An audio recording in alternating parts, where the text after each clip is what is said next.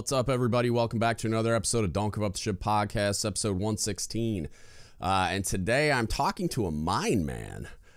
That's a thing. Like MNs, it's a rating in the Navy. It's a pretty small community, and uh, also reservists. We got into some of uh, some of that stuff, but particularly interesting to me was like just the story of a mine man was cool. It was cool. I love learning about obscure Navy things that like I didn't get to interact with or be a part of or whatever that I'm not like super familiar with. I, like I like learning about it. It's fun.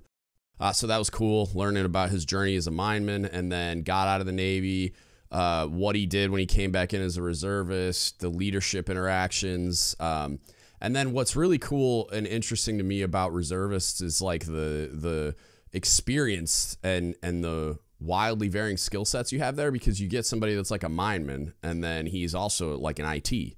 So they're like more than one thing, which of course they are because they're human beings and we're complicated. But like it's just cool to to understand how it works, but also explore like all of the untapped resources that are in the reservist community, and we talk about that as well.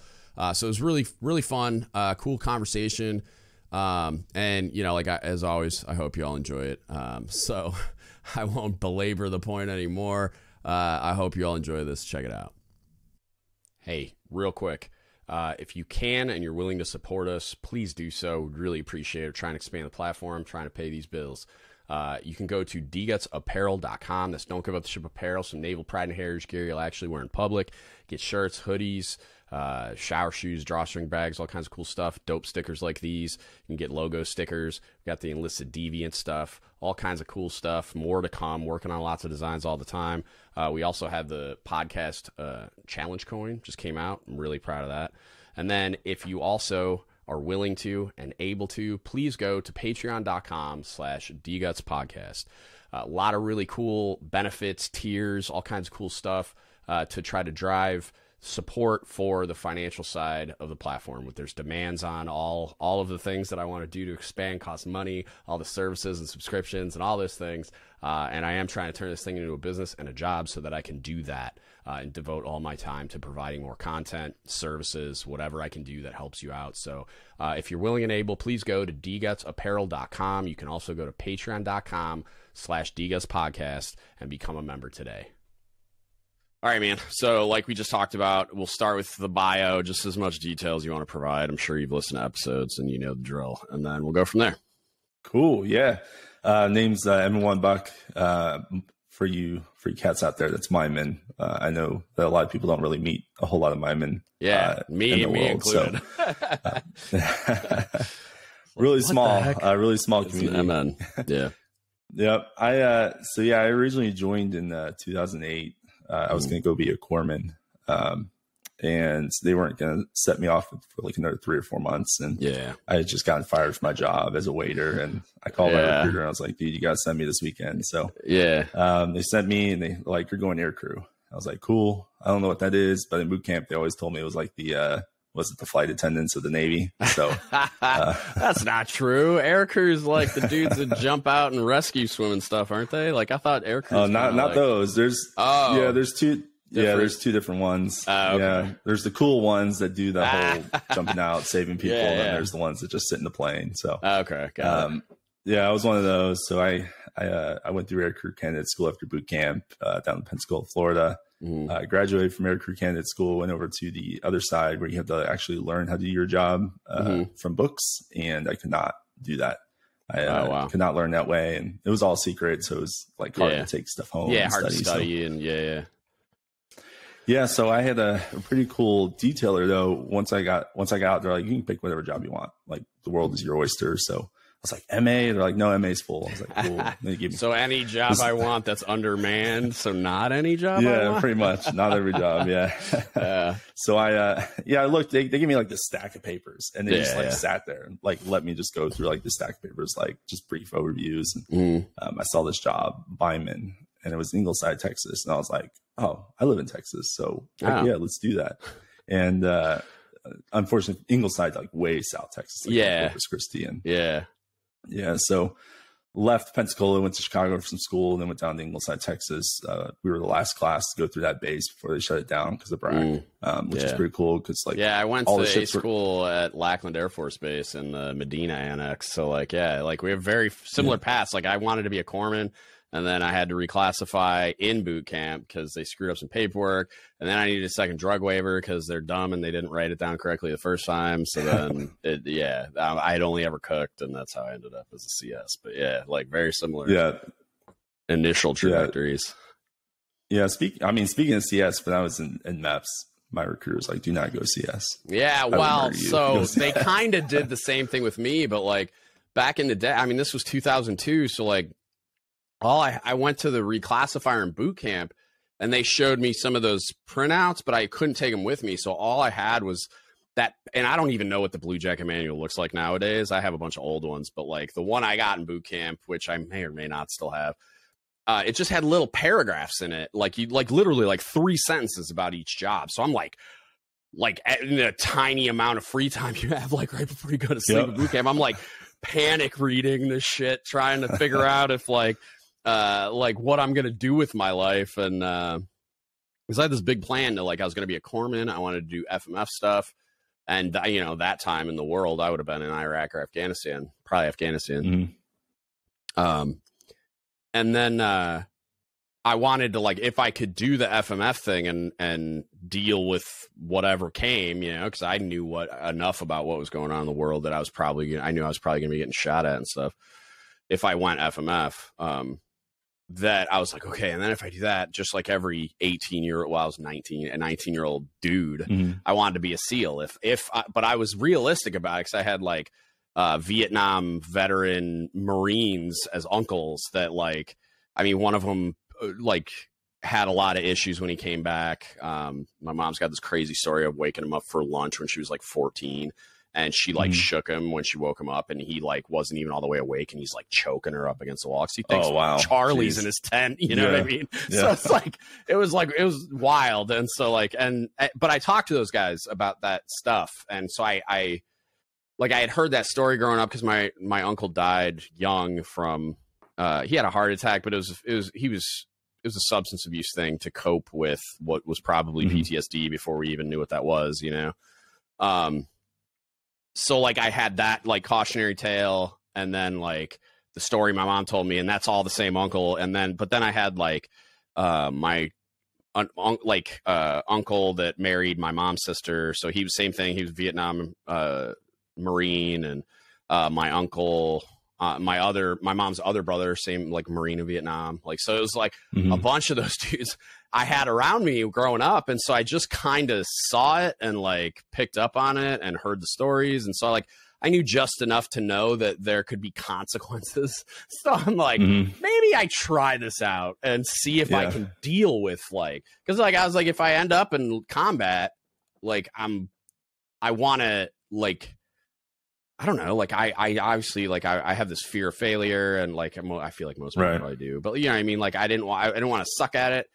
I wanted to mm-hmm. make sure it wasn't going to like break me and like just yeah. destroy my whole life. And so I was like, let me go do this, see how it goes. And but then you know it all exploded in boot camp because some asshole yeah. at MEPS dorked my paperwork up. Um, so yeah, I gotta stop cursing because this stupid Riverside thing I use now because it gives me good video, but I don't have the footnotes function, so I can go back and edit all the curse words out. um, yeah. yeah, but that so then I reclassed. I like so I ended up as an MS because that's how old I am. Um, mm-hmm. because it's all I'd ever done. I cooked professionally growing up. I loved cooking. I wanted to go back to it when I got out of the Navy. This was just going to be like a four year adventure, and mm-hmm. uh, you know, clearly that one is planned like everything else. But then, yeah. Uh, yeah, I ended up as a cook on submarines instead. So yeah. Like figure Works that out, out. though. Yeah. yeah. Oh yeah. I mean, yeah. I'm not I don't regret anything at this point. I'm really proud of it. And I have this like thing about um like I like being an underdog or like a somebody that's like underestimated. Uh, and mm-hmm. that's the story of, of CS's life, their whole yeah. like their whole careers. And it's like what's funny is like no one seems to realize it but us. Like I talk to people about it all the time and um because there's times like, like where i'd have like a cob that was like uh he would get pissed at me and be like, "Why are you so defensive? All you supply people are so defensive." I'm like, "Yeah, oh, how could that be? I wonder why." You know, like maybe it's because you all treat us like we're stupid. And so I'd snap yeah. at people sometimes, and uh, it was a lot of times it was because they said something dumb, like, "What would you know about a Cookie?" Like I'm, I, and I'm like, dude, right? Like, yeah. really? Like for a smart person, you're pretty, you're pretty dumb uh, or yeah. what you said is pretty dumb. And so like I'd come at people sideways and they'd be like, "What? I was just kidding." And it's like, "No, you weren't. No, you no. weren't. Not really." Um, like I had this kid that worked for me. He was an FC that uh, would always be like, "Oh, well, you're not a cook," and I'm like, "Yeah, but I am though." Like he was right. like, "No, but you're." I'm saying like you're just you're different. Like you're actually smart and, blah, blah. and I'm like, "Shut up, dude." Like I'm the same thing as everyone else. You're just yeah. getting to like know me on a level that, right? You know, like, and I'm not like delusional about it. Like I know in certain ways I'm kind of an anomaly and like whatever, and that I'm, I, yeah, uh, own analysis. I'm not trying to like toot my own horn, but I like I know I'm pretty. I'm like a super comp- competent uh leader. So it's like I know mm-hmm. that like I'm kind of an anomaly. Um, but also like I met a bunch of people just like that. Like my really good mm-hmm. friend Sasha that worked for me at the A school. She's a Surface CS, amazing.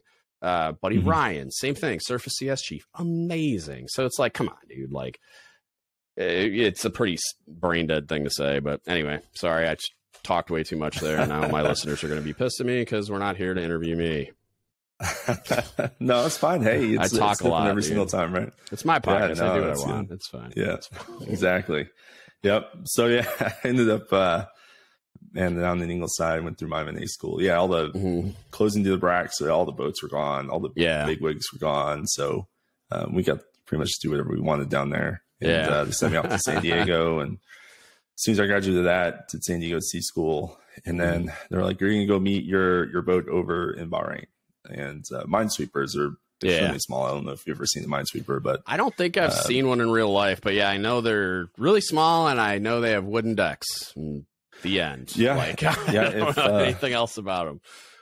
Something, yeah. Everybody says, "Oh, how many wooden ships are there in the Navy?" Well, mm-hmm. everybody thinks of the Constitution. Well, yeah. not really. There's also all the minesweepers, right? Because magnetic so, mines and stuff or something. Yeah. Right. Right. Yep. Yeah. yeah okay. So they were like, "All right, here's a plane ticket, and go meet your meet your crew over in Bahrain." And Yikes. that was probably like my third flight ever in my mm-hmm. entire life. You're and flying the Middle East. Yeah. flying the Middle East. Didn't have a passport. I didn't know I needed a yeah. passport. I just had my military ID. I was yep. I was 19 years old and I was like, all right, man, let's uh let's go. So we flew all yeah. over to Bahrain and said, you know, just good luck. You'll find somebody will be there to meet you. Yeah. hopefully. Like, That's very reassuring. Yeah. You walk out of the airport, and uh, yeah, thankfully, you know, two people there. I saw them and I immediately ran over to them. Like, this is my first time in a foreign country. Never, yeah, I don't know what I'm doing. Got through customs. Like, they looked at me weird. I was just like holding yeah. up my military ID, like praying to God. Like, that's all I Please needed. Please don't arrest me. Yeah, yeah. let me go. Yeah, so um, got on the ship, first ship, USS Ardent, um, and uh, two days after I got on the ship, they're like, "Hey, you're going cranking." I'm like, uh, what's that? yeah. Uh, they're like, oh, we're so sorry, but uh, yeah, yeah, you know, we don't have anybody else we can send. You got to go. Sorry, so, you're brand new, dude. That's what brand new people do on ships. Welcome to the Navy. Yeah, I had no idea, and yeah. uh, so it was it was all right at first because you know I was a waiter and it was just like you know you're just waiting on people, right? Having yeah. to do the wardroom stuff, the chief's mess stuff, and yeah, no, it's probably really familiar. To... Honestly, like yeah, you yeah. were just doing that, and now you're doing it in the Navy. yep, and uh, you know, like crew gets mad at you, give them like the apple tang to make it for them, and we didn't have soda machines on on the boat. Yeah, so that's all yeah. got. It was the thank God. Stuff, I, so. hate, I only had a soda machine once on a submarine, and it was fucking ugh, it's terrible. Like just because. Yeah it's messy and stupid and but also like the unseen pain for a guy like me is like the space we have to store food is extremely limited on a submarine mm-hmm. but i have to fill like a hundred square feet with bag and box soda syrup for these like mm-hmm. pre-diabetic like morons like i love you guys but still like come on dude like it was they're talking about taking away DFAT fryers. Meanwhile, I'm just loading diabetes onto the ship. Like I'm like, yeah. what am I? And if I could free up that space, it would just make my life so much less painful. But yeah, I hate those things. Yeah, we we didn't have a deep deep fryer. We didn't, we didn't have a lot of luxuries that a lot of the big ships yeah. have. You know, our yeah. our hangout spot was the mess decks, and mm-hmm. our workout levels on the 03 level, a couple weights, and that's about it. Um, yep. Very small yep. boat. Um, so I did that. We went all over, uh, did the cranking, and um, there was this one time we were doing this Ames range where um, they have the boat next to the pier. They pull the brow, and you move very slowly up and down the pier to get your magnetic signature. And mm-hmm. uh, being the only crank that wasn't qualified in anything because I had just gotten on the boat, I had to like prepare the meal or help prepare the yeah. meal, clean all the dishes and all that. And we had this Master Chief CS as our SCL.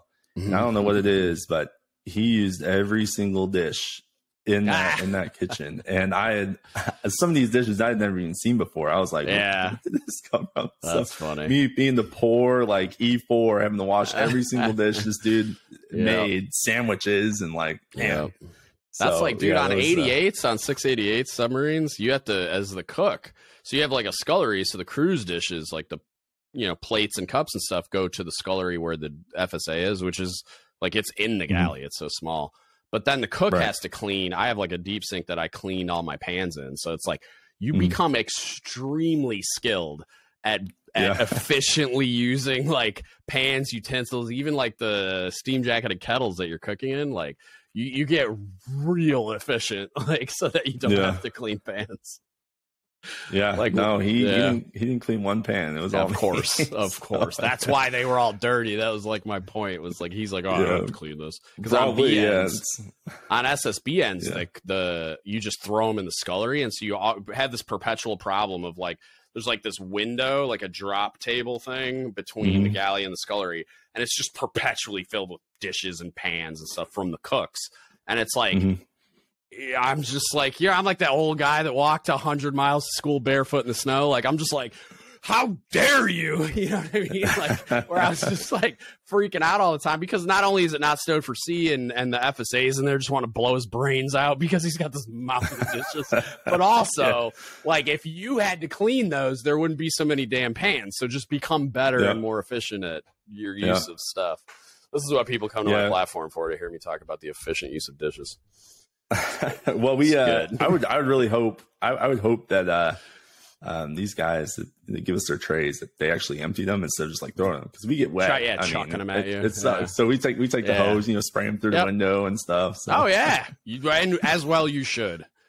Yeah, yeah. Scrape your ourselves. scrape your tray, you clown. Yeah, yeah. It's ridiculous. Yeah, those fun times there. Yeah. yeah. So I left. uh We left Bahrain, went back to San Diego, and then went back out to Bahrain for another deployment. Didn't have to yeah. crank anymore. Thank thank goodness. But I was kind of. uh yeah, I was that sailor that uh, complained a lot um, after that experience because I felt like after two days they sent me down there and I just felt like it was like two whole days. You know, forget about it. Yeah, just like oh, I didn't know what to do. I was like, yeah, you know, 19 years old, my first Navy ship. You sent me down yeah. to pretty much wait tables and stuff. Everybody and, does uh, it, bro.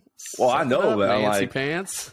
I've seen uh I've seen some ships do wait like six months before they send something. Yeah, down. I mean, I do, I do like when they give them like a month, uh, you know, at least a mm-hmm. few weeks, but like a month to like check in and like figure out how to get on and off the submarine without getting right. lost. Yeah, yeah, yeah. I, I would have loved that. I just kind of, you know, I was down there for four months and it was just kind of yeah. like, kind of sucks. So kind of, yeah, I was in a bad relationship, so all that negativity just continued to fuel my, uh, okay, fuel my Got mind. It through the yeah through the end of the two years yeah two years on the boat i got out um, got out of the navy in 2012 and went to civilian route so i mm-hmm. went to school went to college and um, had to do that transition was which was pretty rough uh, yeah didn't really talk a whole lot in taps about yeah it's weird getting like out I, 21 years and then retiring like it's yeah. i thought it was just going to be like sunshine and rainbows and unicorns and i was just mm-hmm. going to run off to the into the sunset start eating weed and like you know get a job where I get paid lots of money and like live, right, my, yeah. live my best life. And it's like it's that there are aspects to it that feel like that, but then there's a lot of stuff that like yeah, it's a lot more difficult than I thought. Like I was at a doctor's appointment today for the first time with a civilian PCM or whatever. Uh, and I'm just like mm. such a moron about like I don't know how to civilian when it comes to like doctors mm-hmm. and stuff. So like I'm asking the nurse practitioner like so because I had can- had neck cancer, radiated my face, blah blah blah. So like um I'm gonna ha- I'm gonna have issues with my eyes eventually. Um right. and they've been hurting a little bit recently. And they told me I could get cataracts as early as like my 40s, and I'm about to turn 40. Wow. So, yeah. um, so I'm like, oh, you know, like so I should go get this checked out. And uh, so I asked him, like, how do I like go see an eye doctor? As a, like, do I just go to like LensCrafters or like do I have to like get a referral from you to go? And they're right. like, you could just go find one, or we could refer you. And like, but yeah, it's like you're not going to like Costco optometry to get your get your eyes checked out to see if that's what's right. going on. And I was like, all right, cool, because I didn't. That's what I would have done because I don't know. Yeah. Like I've never right. had to do this. So like, yeah, it's fucking being a civilian's weird, man. Yeah, I uh I mean going through TAPS and the transition, it's just like, oh, you're gonna go to school and it's like, well, mm-hmm. how do I apply to colleges? And yeah, uh, my wife, who I married later on, mm-hmm. um, told me I was a dummy for the way that I did it because I just went to community college. I didn't know what I was doing, and yeah, I could have yeah. gone to like a four year university if I had wow, known that you yeah. don't have to.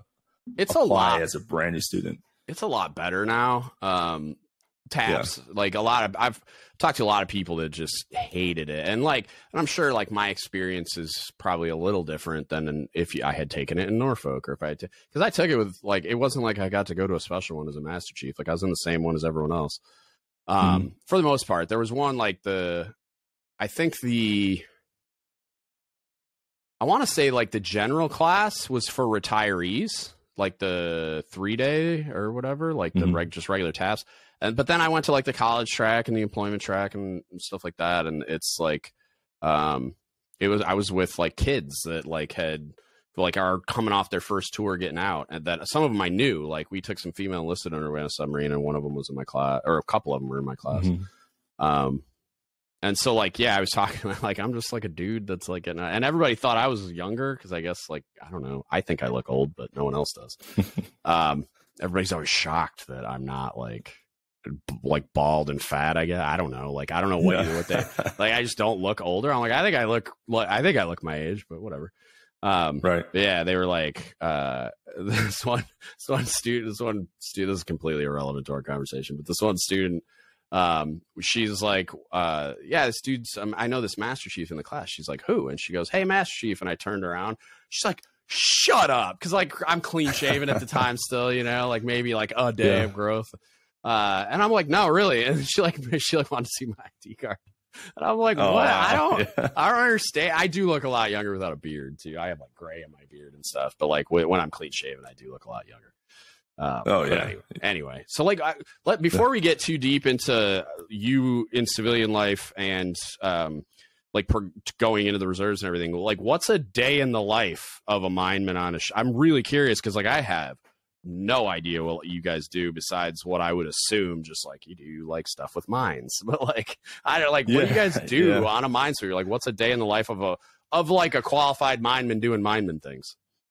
Yeah, so uh so we'll we'll talk about minemen overall general. Um so there's two different I, would say two different types of minemen. There's the ones mm-hmm. that are on the minesweepers and the ones that are in the mine shop. And usually, as okay. a mineman, you do one of each: uh, mine mm-hmm. shop, mine sweep. Sometimes you'll get lucky and you'll get to go out to uh, Virginia be part of the helo crew out there. Okay. Um, so uh, on a mine, uh, mineman on a minesweeper, you're pretty much the jack of all trades for everything because you have such a small crew of, you yeah. know, maybe like 80, 90 people. You have right. to be able to do everything. So yeah. I was part of the, uh, I was part of the combat uh, information center mineman. So I was a combat mineman is what they would call. us. So we have uh, those guys that work that do the sonar. So we had mm-hmm. a sonar on the ship that would hunt mines.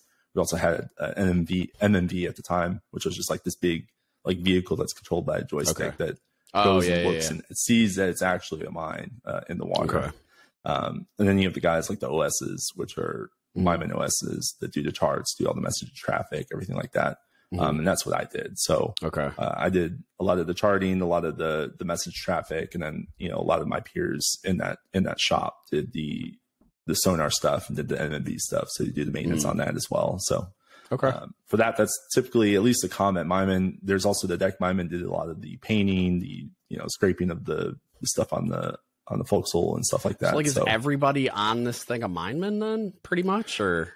Uh, the majority of the crew, yeah, mineman. We do. We had okay. one foreman, one IDC. Um, mm. We had a couple CSs, maybe three or four CSs.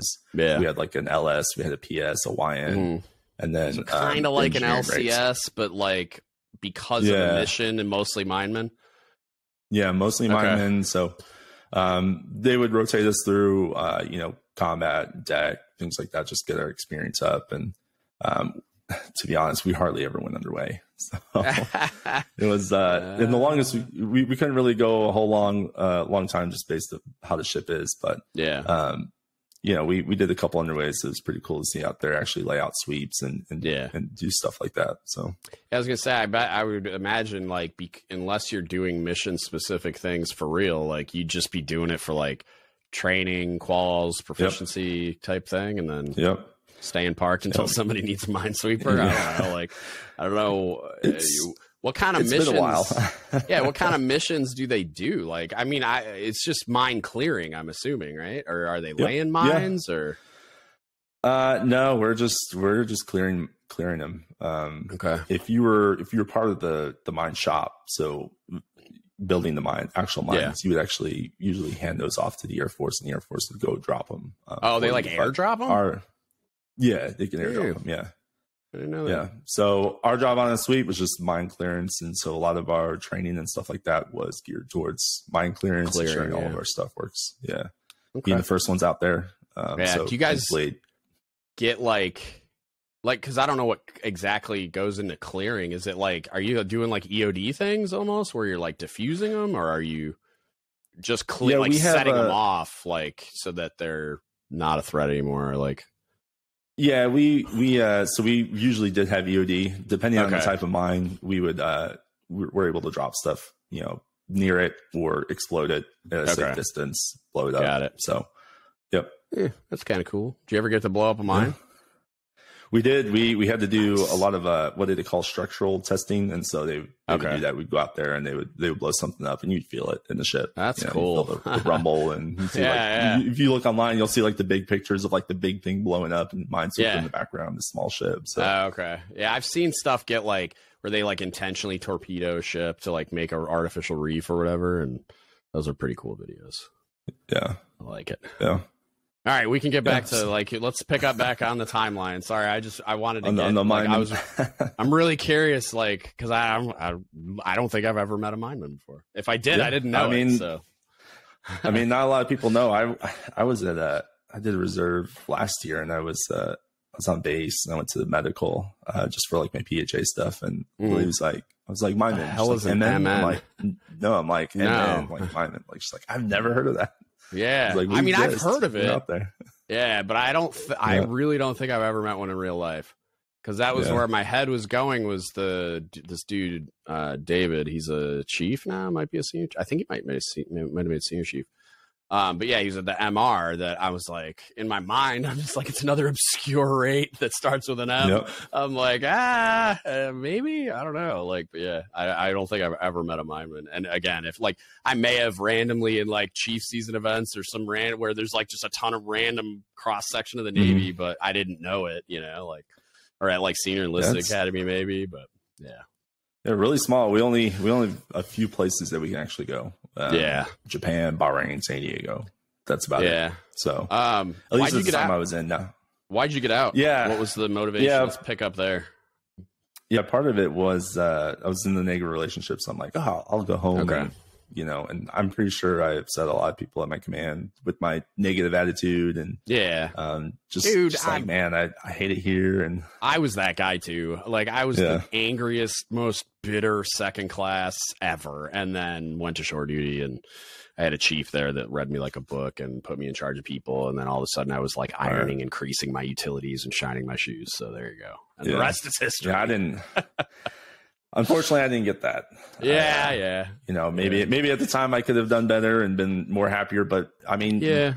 19, 20, 21. Right. You're not mature years, enough. It's just like Yeah, you're not yeah. mature enough to to and it's like you don't even realize the amount of stress you were under and like the how ill equipped you were to deal mm-hmm. with that, let alone the people that are then in because then it's like 3D chess. And then you're like peeling back the layers, and it's like these leaders don't know what the hell they're doing either, and they're poorly equipped to deal with your needs, let alone their own needs. Yeah, and so there, it's mm-hmm. just it's a dumpster fire, but you don't have any of that perspective at the time. So of course you were right. that guy. Like every almost everyone deals with it that way. It's just some yeah. of it. It's like the EPs are just like eating a lot of that and and find a way to be high functioning and probably mm-hmm. get like head and neck cancer when they're older and burn out really hard.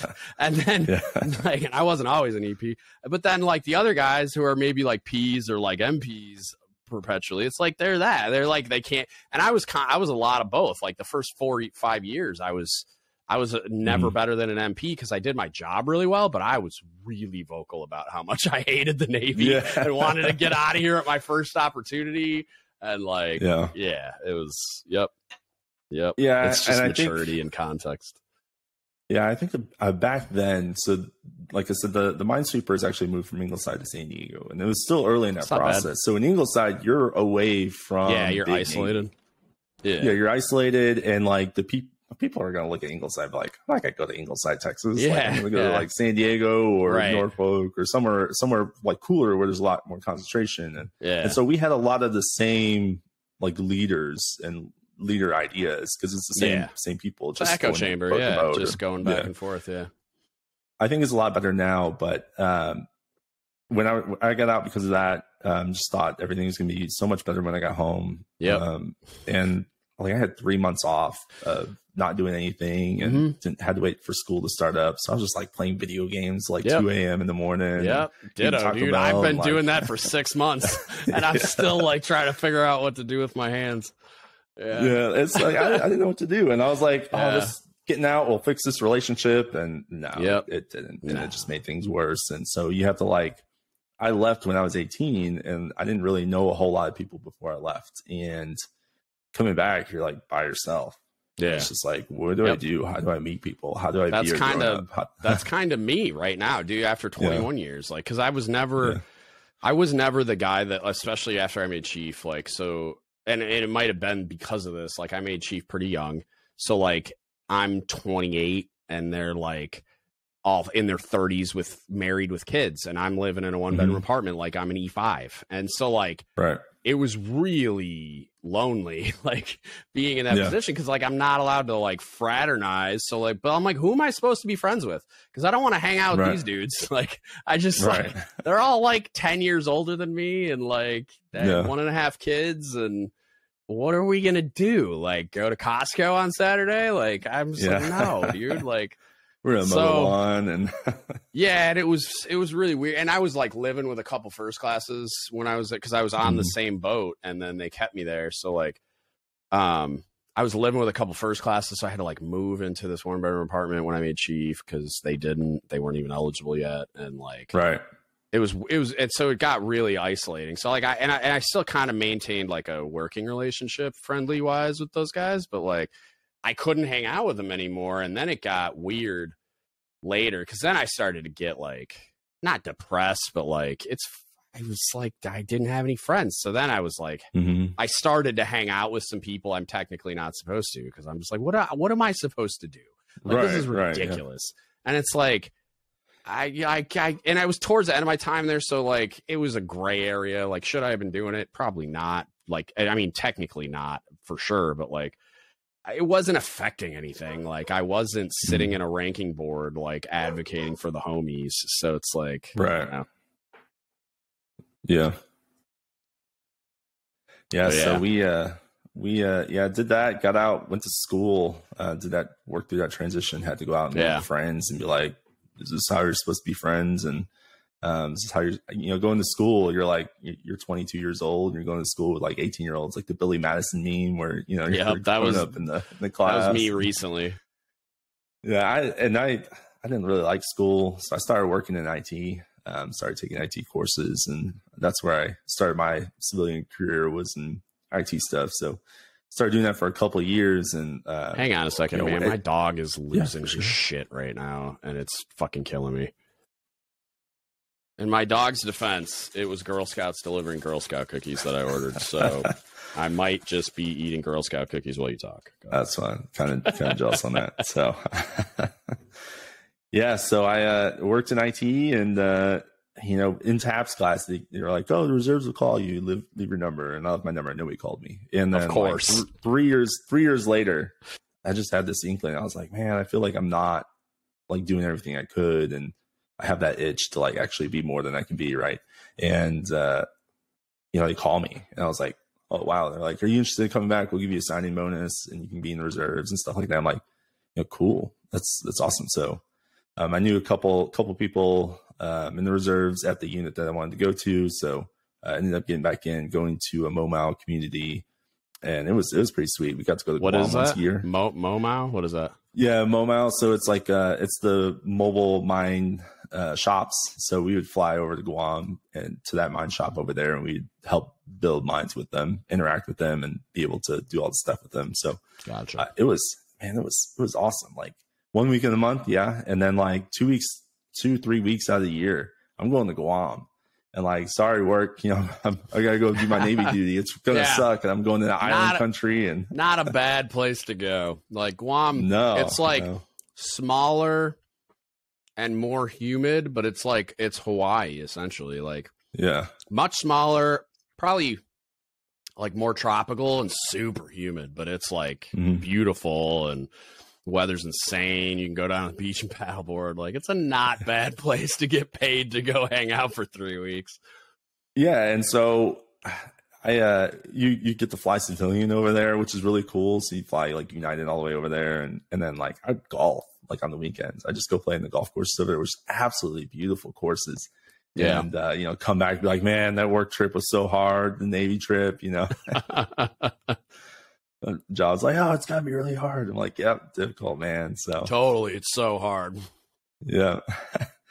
yeah. So I, uh, yeah, I was part of Momau and I had this really cool uh, warrant officer because uh, for those communities, there's just a warrant officer as your CO. And, you know, he really took me under his wing and like gave me a bunch of stuff. He's like, I want you to do this, this, this. He, he saw the potential that I didn't see.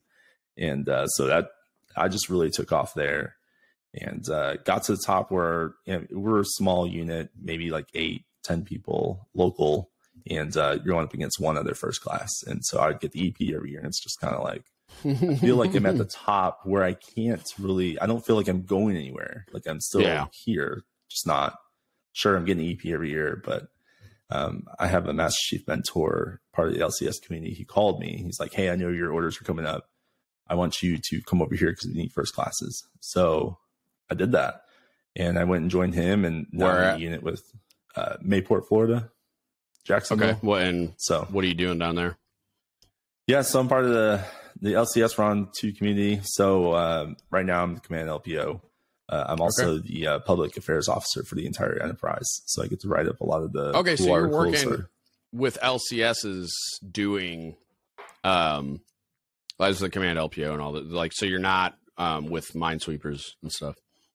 No, no, we're with Okay. we're with the LCSs. So we support the LCSs. Yeah, we'll we'll send people on there um, every weekend, every dual weekend, and uh, doing our ATs, our two weeks, Yeah. three weeks out of the year. We're attached to a an LCS, and they're just like, Yeah. hey, do this, do this, and this. And for for my men, it's a little bit rough because they uh, they don't really have all the the stuff that we need yet to do our job there. So we're kind of Yeah. with the uh, BMs and Yeah. which is cool. It's still that experience as a reservist. You get to go on a ship, and if you Mhm. don't have your ESWS or anything like that, you're able to go get that as a reservist. Oh, that's cool. Which is huge because there's there's people that uh, are just strict reserves, never been on a ship, and now they get to Mhm. be on a ship and go get their ESWS, even though it takes like you know six months to a year. We've had Right. people do that, which is really That's cool. awesome.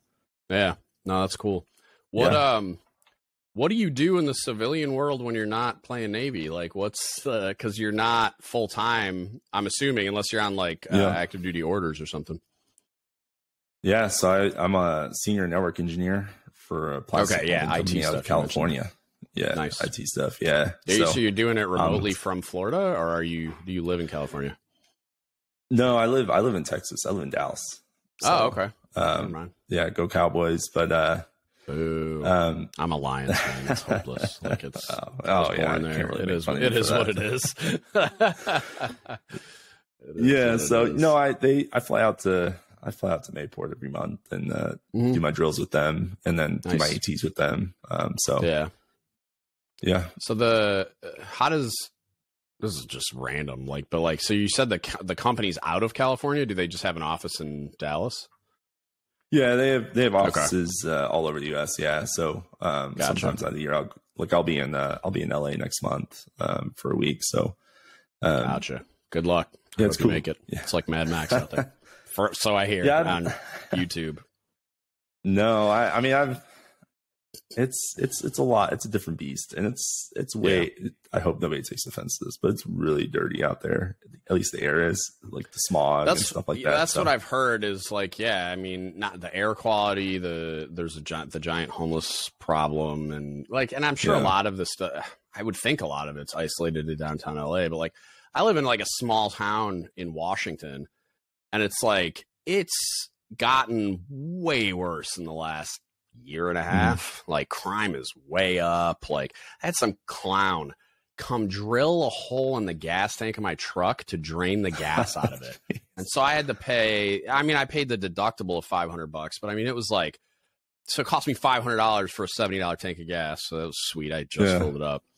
And then, uh, cause this isn't even my daily driver. I, had, I drive like a little hybrid car thing. Cause when I was commuting right. to base, it was far enough away that it saved me a ton of money on gas. And I have a yeah. truck just so I have like a four wheel drive and go get dirt or wood or whatever. So like, uh, yeah, it drills a hole in it so I can take it in and pay the deductible. But like, it's like twelve hundred bucks. The truck, it's an older truck, so like they didn't even mm-hmm. make the gas tank anymore. They had to go like find a used one and 3D print like, one. Bro, I would have given you a hundred bucks to go away and not drill a hole. It's more trouble, yeah. Tank. But then they would just and, come back the next day for another hundred. Yeah, it's just. I mean, I, so stupid. I assume that takes a while though, right? Just to drill a hole in the gas tank, I, and not only that, but like I didn't realize. Like my dad explained it to me because he's kind of a car guy. He's like explaining to me like how it's not as dangerous as you would think it is because something about like the way they make the gas tank. So it's like there's no oxygen for it to ignite. So if you're drilling and there's friction and heat and whatever, I mean, in my mind, I'm like drilling into a gas tank sounds like the worst idea ever because yeah. I'm just thinking of like friction makes heat, metal on metal, sparks. Oh my oh, god! But apparently, I watch too many movies because you need oxygen there present with the spark because of course you do fire yeah. tetrahedron or whatever. Um, yeah.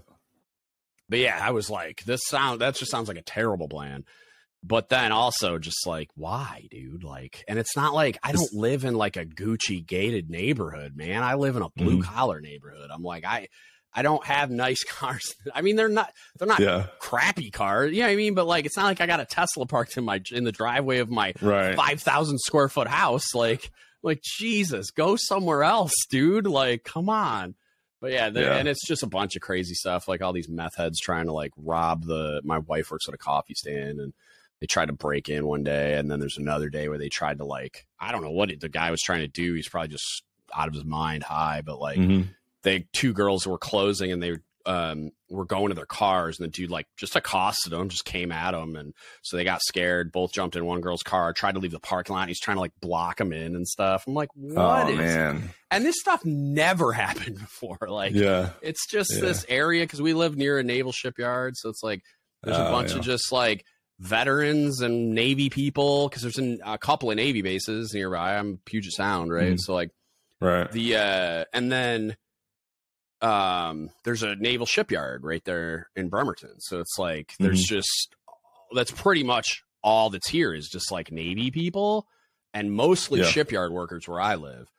And so I'm just like, it was a chill, quiet area, like yeah. nice. Like I bought the house in 2016, but yeah, crime is way up. It's so weird. And it's like then there's a ton of like homeless people and just vagrants like all over the place that were never here before. And I'm like, oh, Where, wow. where'd you come from? Like. I don't understand.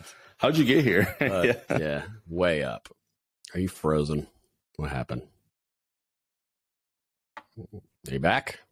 Yeah. Okay, there's a little glitch there for in the Matrix for a second. Yeah, it's weird. All right. Um yeah, it's so weird, but also like, you know, I our goal is to move like we wanted to move to Texas, ironically. Like that we went down yeah. to Austin when I retired and checked. We wanted Not to be there. like how no. no, no, no, no, no, no. we went to Austin uh specifically like I wanted to be about an hour outside Austin. I wanted it to be like right. here where it's like if I want to go to Seattle for something, I just got to go visit. Um right. but I don't really ever go to Seattle and it's mm-hmm. like Austin. It's like, yeah, I, I'm, I do jujitsu. I'm into combat sports. So like, if I want to go watch, like, there's a lot of world class jujitsu in Austin because Joe Rogan primarily, but also just right. like that's where they are. So like, yeah. um, they do a lot of like high level competitions. It would be really cool to go watch people compete. So like, I'd drive to Austin to watch that and then go home, like to somewhere yeah. like 45 minutes an hour away. Like that's what I, I wanted. But then it just like it didn't work out, and it was right as like mortgage interest rates were getting weird, and um, yeah. home prices and inflation were getting weird, and so it just like our cost of living here is comically low because I bought the yeah. house in 2016 and yeah. because oh wow yeah so it's just like yeah yeah like my my home value has more than doubled and so it's like for yep. me to sell this and then go buy a place down and we were gonna rent when we got down there too and like rent is sky oh, high. yeah so we're going to rent yep. for like six months, learn the area, and then try to buy a house. And it's like the worst time to do all those things. and so I'm just yep. like, yeah, if I had some high paying job, maybe, but like I, my plan was to go down there just on pension and disability and like go down there and start a new life. And like, so I, there'd be a job presumably eventually, but like, yeah, yeah cost of living would have like fucking doubled, dude. It would have been nuts. So yeah, Austin's, unfortunately, Austin's uh, weird. Yeah, I don't. Sure. It's expensive. There's yeah, there's cool parts to it, but I wouldn't want to live there. It very much. It was like right. a cooler, warmer Seattle. Like I don't want to live there, but there's some cool stuff to do there. So like I want to be within striking distance because there's a lot of really cool things there. But yeah, I don't. I don't want to live in Austin. Yeah. Absolutely not. For the same reason I don't want to live in Seattle. Like, ew, it's right. a big city, yeah. but also I want I want 20 acres in the middle of nowhere. But yeah, everybody and their moms Someday. moved there, and it's just, it's the same with Dallas too. It's like is it we when we bought our house, we're like, oh, we're in this nice area, mm. not a lot, whole whole lot of stuff. There's some land, farms around, and just like yeah. now, it's just like Dallas is just like expanding. Like yeah, they moved Toyota here, Samsung, and they yeah. opened up a Walt Disney World resort for kids over in Frisco. In, so in Texas, yeah, in Texas. Holy so, crap! I didn't know that. Yeah. Yeah, wow. open Frisco just for kids, but um, yeah, yeah, it's it's wild, but yeah, you go to Montana, I, I moved back dude. here. Yeah, that's where everybody watch Yellowstone and yeah. Wow, I was looking at Montana already because I have a buddy that owns a bunch of land out there. Um, yeah, and just talked about how nice. And I like, I want to go somewhere where there's not a lot of people, like Wyoming or something. Right. Like, I just want right. to be somewhere where there's not a lot of people, beautiful wilderness. Like I can get 20 acres in the middle of nowhere, and I, I don't mind the snow either. I would go home to Michigan uh, if it wasn't yeah. Michigan, but um, yeah, I mean, I would go just because the cost of living's a joke, and in rural Michigan, it's like it's not like I don't know, like I don't want to get into politics, but like it's not. Yeah, I got you. It's not the state itself is not my favorite. Um, yeah, but yeah. the rural areas are fine because my brother lives in like a farm town in Michigan and um, mm. it's amazing there. So like I could see myself buying property up there, and and I'm cool with the snow, but my wife is not.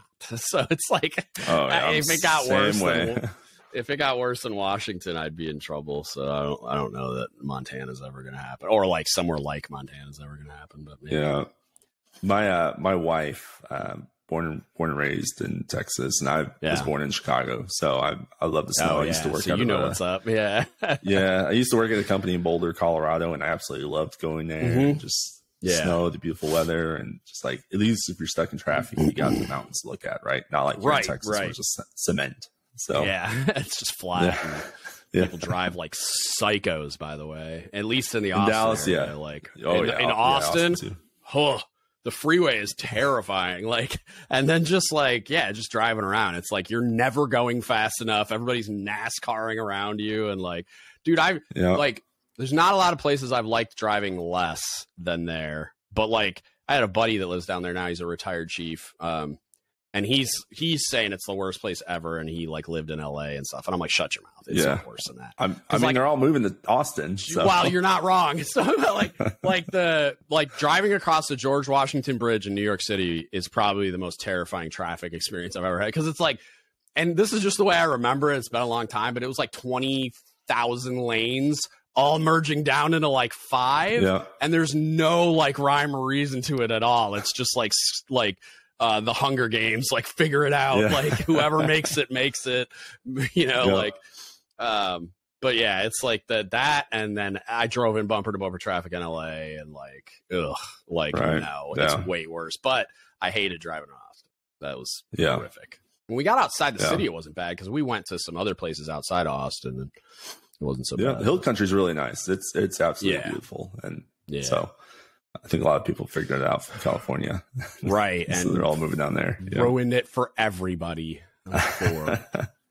Yeah. That's what they're saying about like Idaho and a bunch of other places too that are like really nice. Oh, really? People are finding out and moving from California because they hate it and then trying to make it California, which I don't know if the second part's true. I feel like if you picked up your whole life and tried to move to like moved out of an area because of how horrific it got, I would like to think that most of those people would know why it got like okay well this didn't work so let's not do like i'm leaving this place because i don't like how this turned out so maybe mm-hmm. i need mm-hmm. to adjust my world worldview a little bit and i think a lot yeah. of those people because people like to blame it on like like uh democrats or whatever and it's like i don't think it's that at all like there's mm-hmm. i don't think yeah. people like to try to pretend it's like and I, again i don't want to like go down a political rabbit hole, but it's not like it's it's like leadership, man. It's like a weird pivot. It's like leadership. I'm trying to get me out myself out of this political rant. Um, it's like it's so nuanced that it's, but it's like people aren't willing to to explore or discuss that nuance. You know what I mean? Like right. Yeah. really complicated and really nuanced, but we, uh, so we don't, ain't nobody got time for that. We got to just talk about like it's your fault. No, it's your fault. It's like yeah. I, it cracks yeah. me up, dude. I watch like um I watched this thing called Breaking Points on YouTube. It's like a news channel that one the dude's a Republican and the the uh, woman like there's two people. So like one of the anchors is a he's like a late twenties, early thirties uh, dude. He's a of Indian descent and is conservative, I should say. Like he's the more mm-hmm. Republican one. And then she's a Democrat, more liberal she's older uh she's like 40 or something but they do this show together and it's really cool because they have like what you would think would be conflicting viewpoints but it's it's really cool the way they discuss everything. They're like look yeah. grown-ups can have a conversation on yeah. on like two different ends of the spectrum and like not kill each other. And they're like really good friends and do a bunch of stuff together. Um but i was watching that and they were um i think i just i think i just hard reset.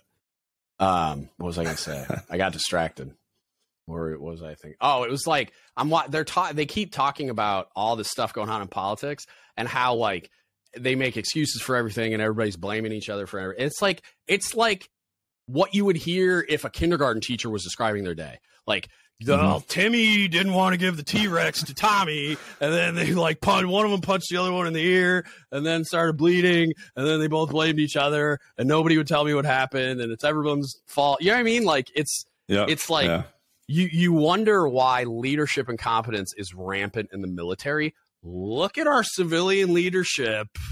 Right. Like it's like everything you see is just like it's like a bunch of like eight year olds are in charge. Like it's yeah. so ridiculous.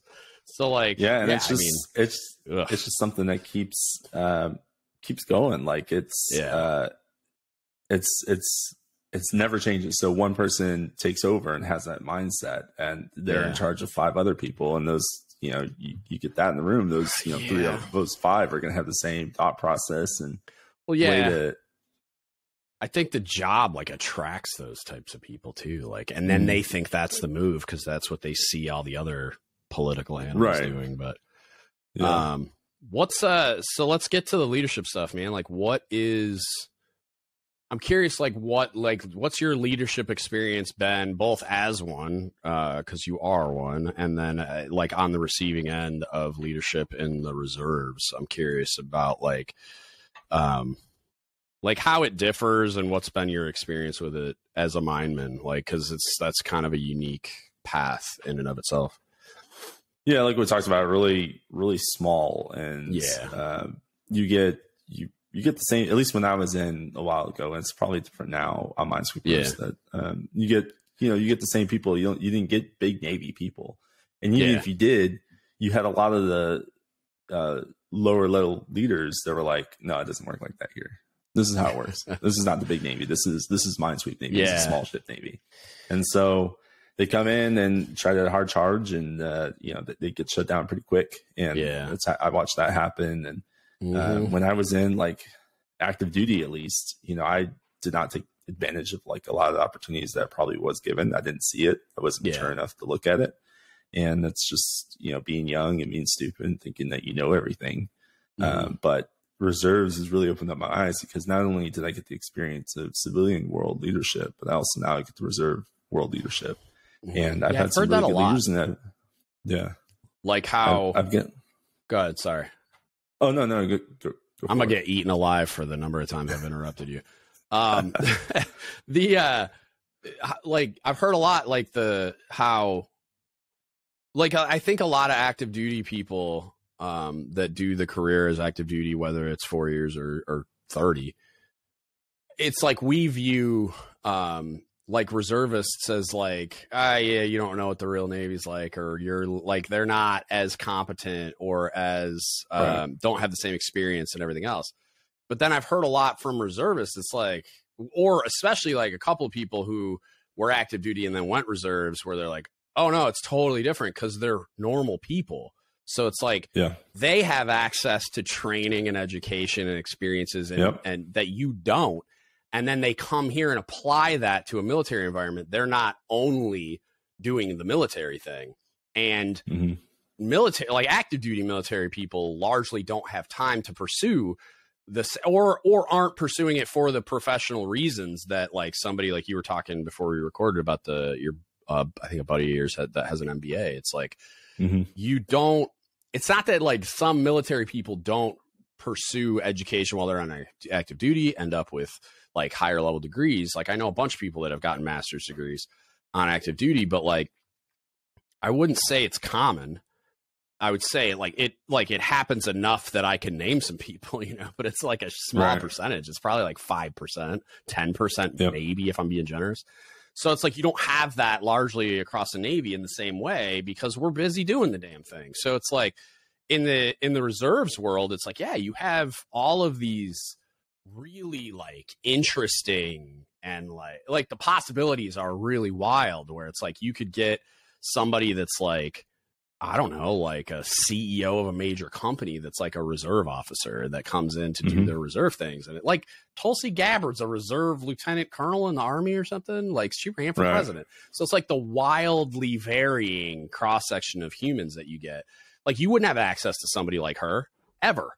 Right. Unless you're. Joe Rogan, you know, or like one yeah. of those types of people. it's like you would never have access to her. But then what if she just comes in to do her drill weekend and here comes, to, and yeah. it's like, that's that's cool and like there's i'm sure there's a lot of other people like that out there with like really interesting experience and knowledge and education and specialization and whatever where it's like mm-hmm. you're i I bet you, you guys' leadership aptitudes probably higher. If you if we yeah. aggregated it, like if we found a bunch of data, aggregated it all, and compared it, I bet you leadership competence generally would be higher in the reserves. Now, when you get into like like strategic and tactical like application of the mission stuff blah blah blah that and mm-hmm. i don't even think that's the same thing it like it is and it isn't um yeah it's going to be higher in the navy it's more pro- like proficiency almost because we're doing it all the time you know what i mean and we're mm-hmm. immersed yep. in that and very focused on that and navy leadership is is i would call it their their primary focus is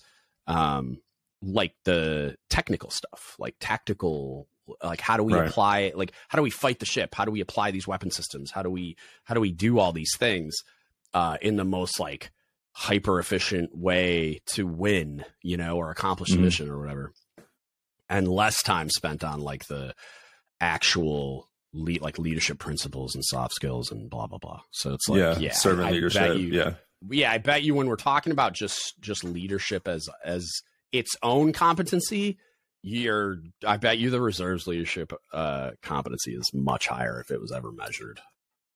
Yeah, I mean, I I've gotten to work with some really great people, really smart yeah. people, and you get your people, normal people that are just sure. collect the paycheck. You know, yeah, you're always going to get chuckleheads, man, everywhere. Yeah, everywhere. We, we, got we got people like we some officers are like lawyers and stuff like that on the outside yeah. and like mm-hmm. how do mm-hmm. we utilize those skills in our unit and um, you have people like me like i i work as a senior network engineer and i got my degree mm-hmm. in organizational leadership um, yeah. something i like a lot and i've been around some really good great companies with really good culture and mm-hmm. just being able to come over to the regular military and just being like okay how do i apply this here how do i yeah. make the culture not I mean, get in your face and yell in your face. How can I get right. the most out of you? Yeah. Um, by not having to do that, right? Well, so and and like as elementary as it as it seems to a non-active duty military person, you can't do that. like if you yeah. did that as a civilian, you'd get fired. Like they'd be an right, HR yeah. going, Nobody's "You won't believe what he just said to me." You know, like you can't do Curse that. Words and... yeah, like you can. It's so radically different, and like the military is definitely uh, like in the 20 years I was 21 years I was there, it started to like the the giant bureaucracy started to lean more that way. Where like some of the mm. stuff you used to do you can't do anymore, but like you can still right. light someone up. Yeah, I mean like it's still wildly different than the civilian sector where you just can't do that anymore. So yeah, yeah, I and I would love uh, something that our unit did was all right. Everybody write down what your job is in the civilian world, and mm they're going to look at it and say, okay, this person's really good at you know writing, or this person's really good at doing this type of work, and like how do we mm-hmm. how do we bring that over to our our sides to make our really really well, um, right, our unit really well, and you know I'm a senior chief now, and that's exactly what he's doing. He's like, I want to bring some of these yeah. leadership principles that you're learning in civilian world that you've learned, yeah. and like all these other smart people that have come through. Even though we're weekend warriors, as a lot of people say, and sure, I may not yeah. know how to do your job as much, but you know, at the end I know day, I a lot more about this other stuff. like, yeah, yeah, that's dude, I bet you. And that's something I've said for a long time too, for like the NLEC ELD stuff. And like I got the the CMC of of NLEC is a is a dude I know that I'm trying to get on the podcast. Toby, I'm looking at you. Um I, we've talked. He said yes. He's just like it's he's a hard dude to pin down schedule wise. Um yeah. and I and I need to follow up too. I haven't done that. So it's like part like 50 50 fault wise, but he's a, he's somebody I want to talk to about that kind of stuff because like it seems it seems like granted I've been out for a little while, but like COVID kind of ate the rollout of that. Like they were talking about like we're gonna have these mm-hmm. detachments everywhere, manned by sailors, and then right. then you kind that detachment is kind of like the quarterback that they're gonna go around and, and qualify all these facilitators that are at these shore commands and they're going to facilitate all these ELD classes. And then like COVID just like, like everything right, stopped. Yeah. Nobody was even talking about it.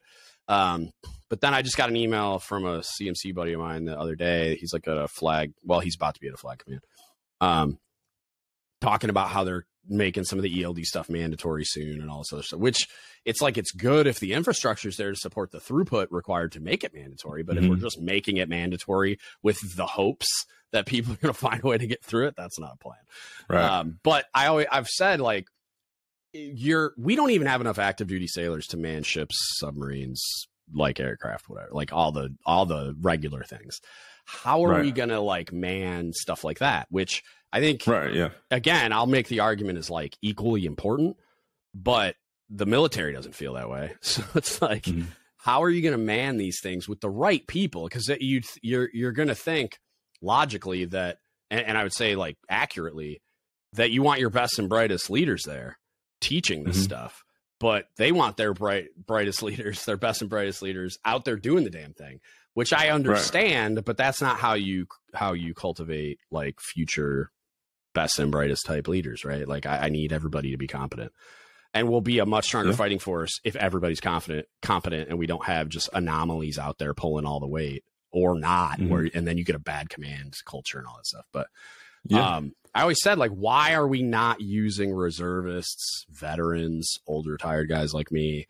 Like yeah. you would rapidly and i you could probably do a lot of it on a volunteer basis like i do that shit for free like yeah, yeah i'm not going to say sure. no to a check and if you want a lot of my time you're going to have to cut a check but yeah. like if you're talking about like you want me to come out and like be part of a course for a couple of days mm-hmm. i do that for free just for the access yeah. to sailors and because i'm passionate about this stuff and because like i have love in my heart for the organization no matter no matter what right mm-hmm. But like, and you would hope. Go ahead. Oh, I was gonna say, and you hope that people on the ship that you're going to talk to have that same mindset that you do, that are open. Because if yeah, you go to a culture yeah. that's just like, I don't want to learn about this. This dude's wasting like right. two hours of my time. It's not gonna really do much. Right. and but also like it's I understand like uh, the idea behind and like ELD was kind of like this hybrid. Like everybody, nobody wanted to do command delivered stuff because the command doesn't have time to do that.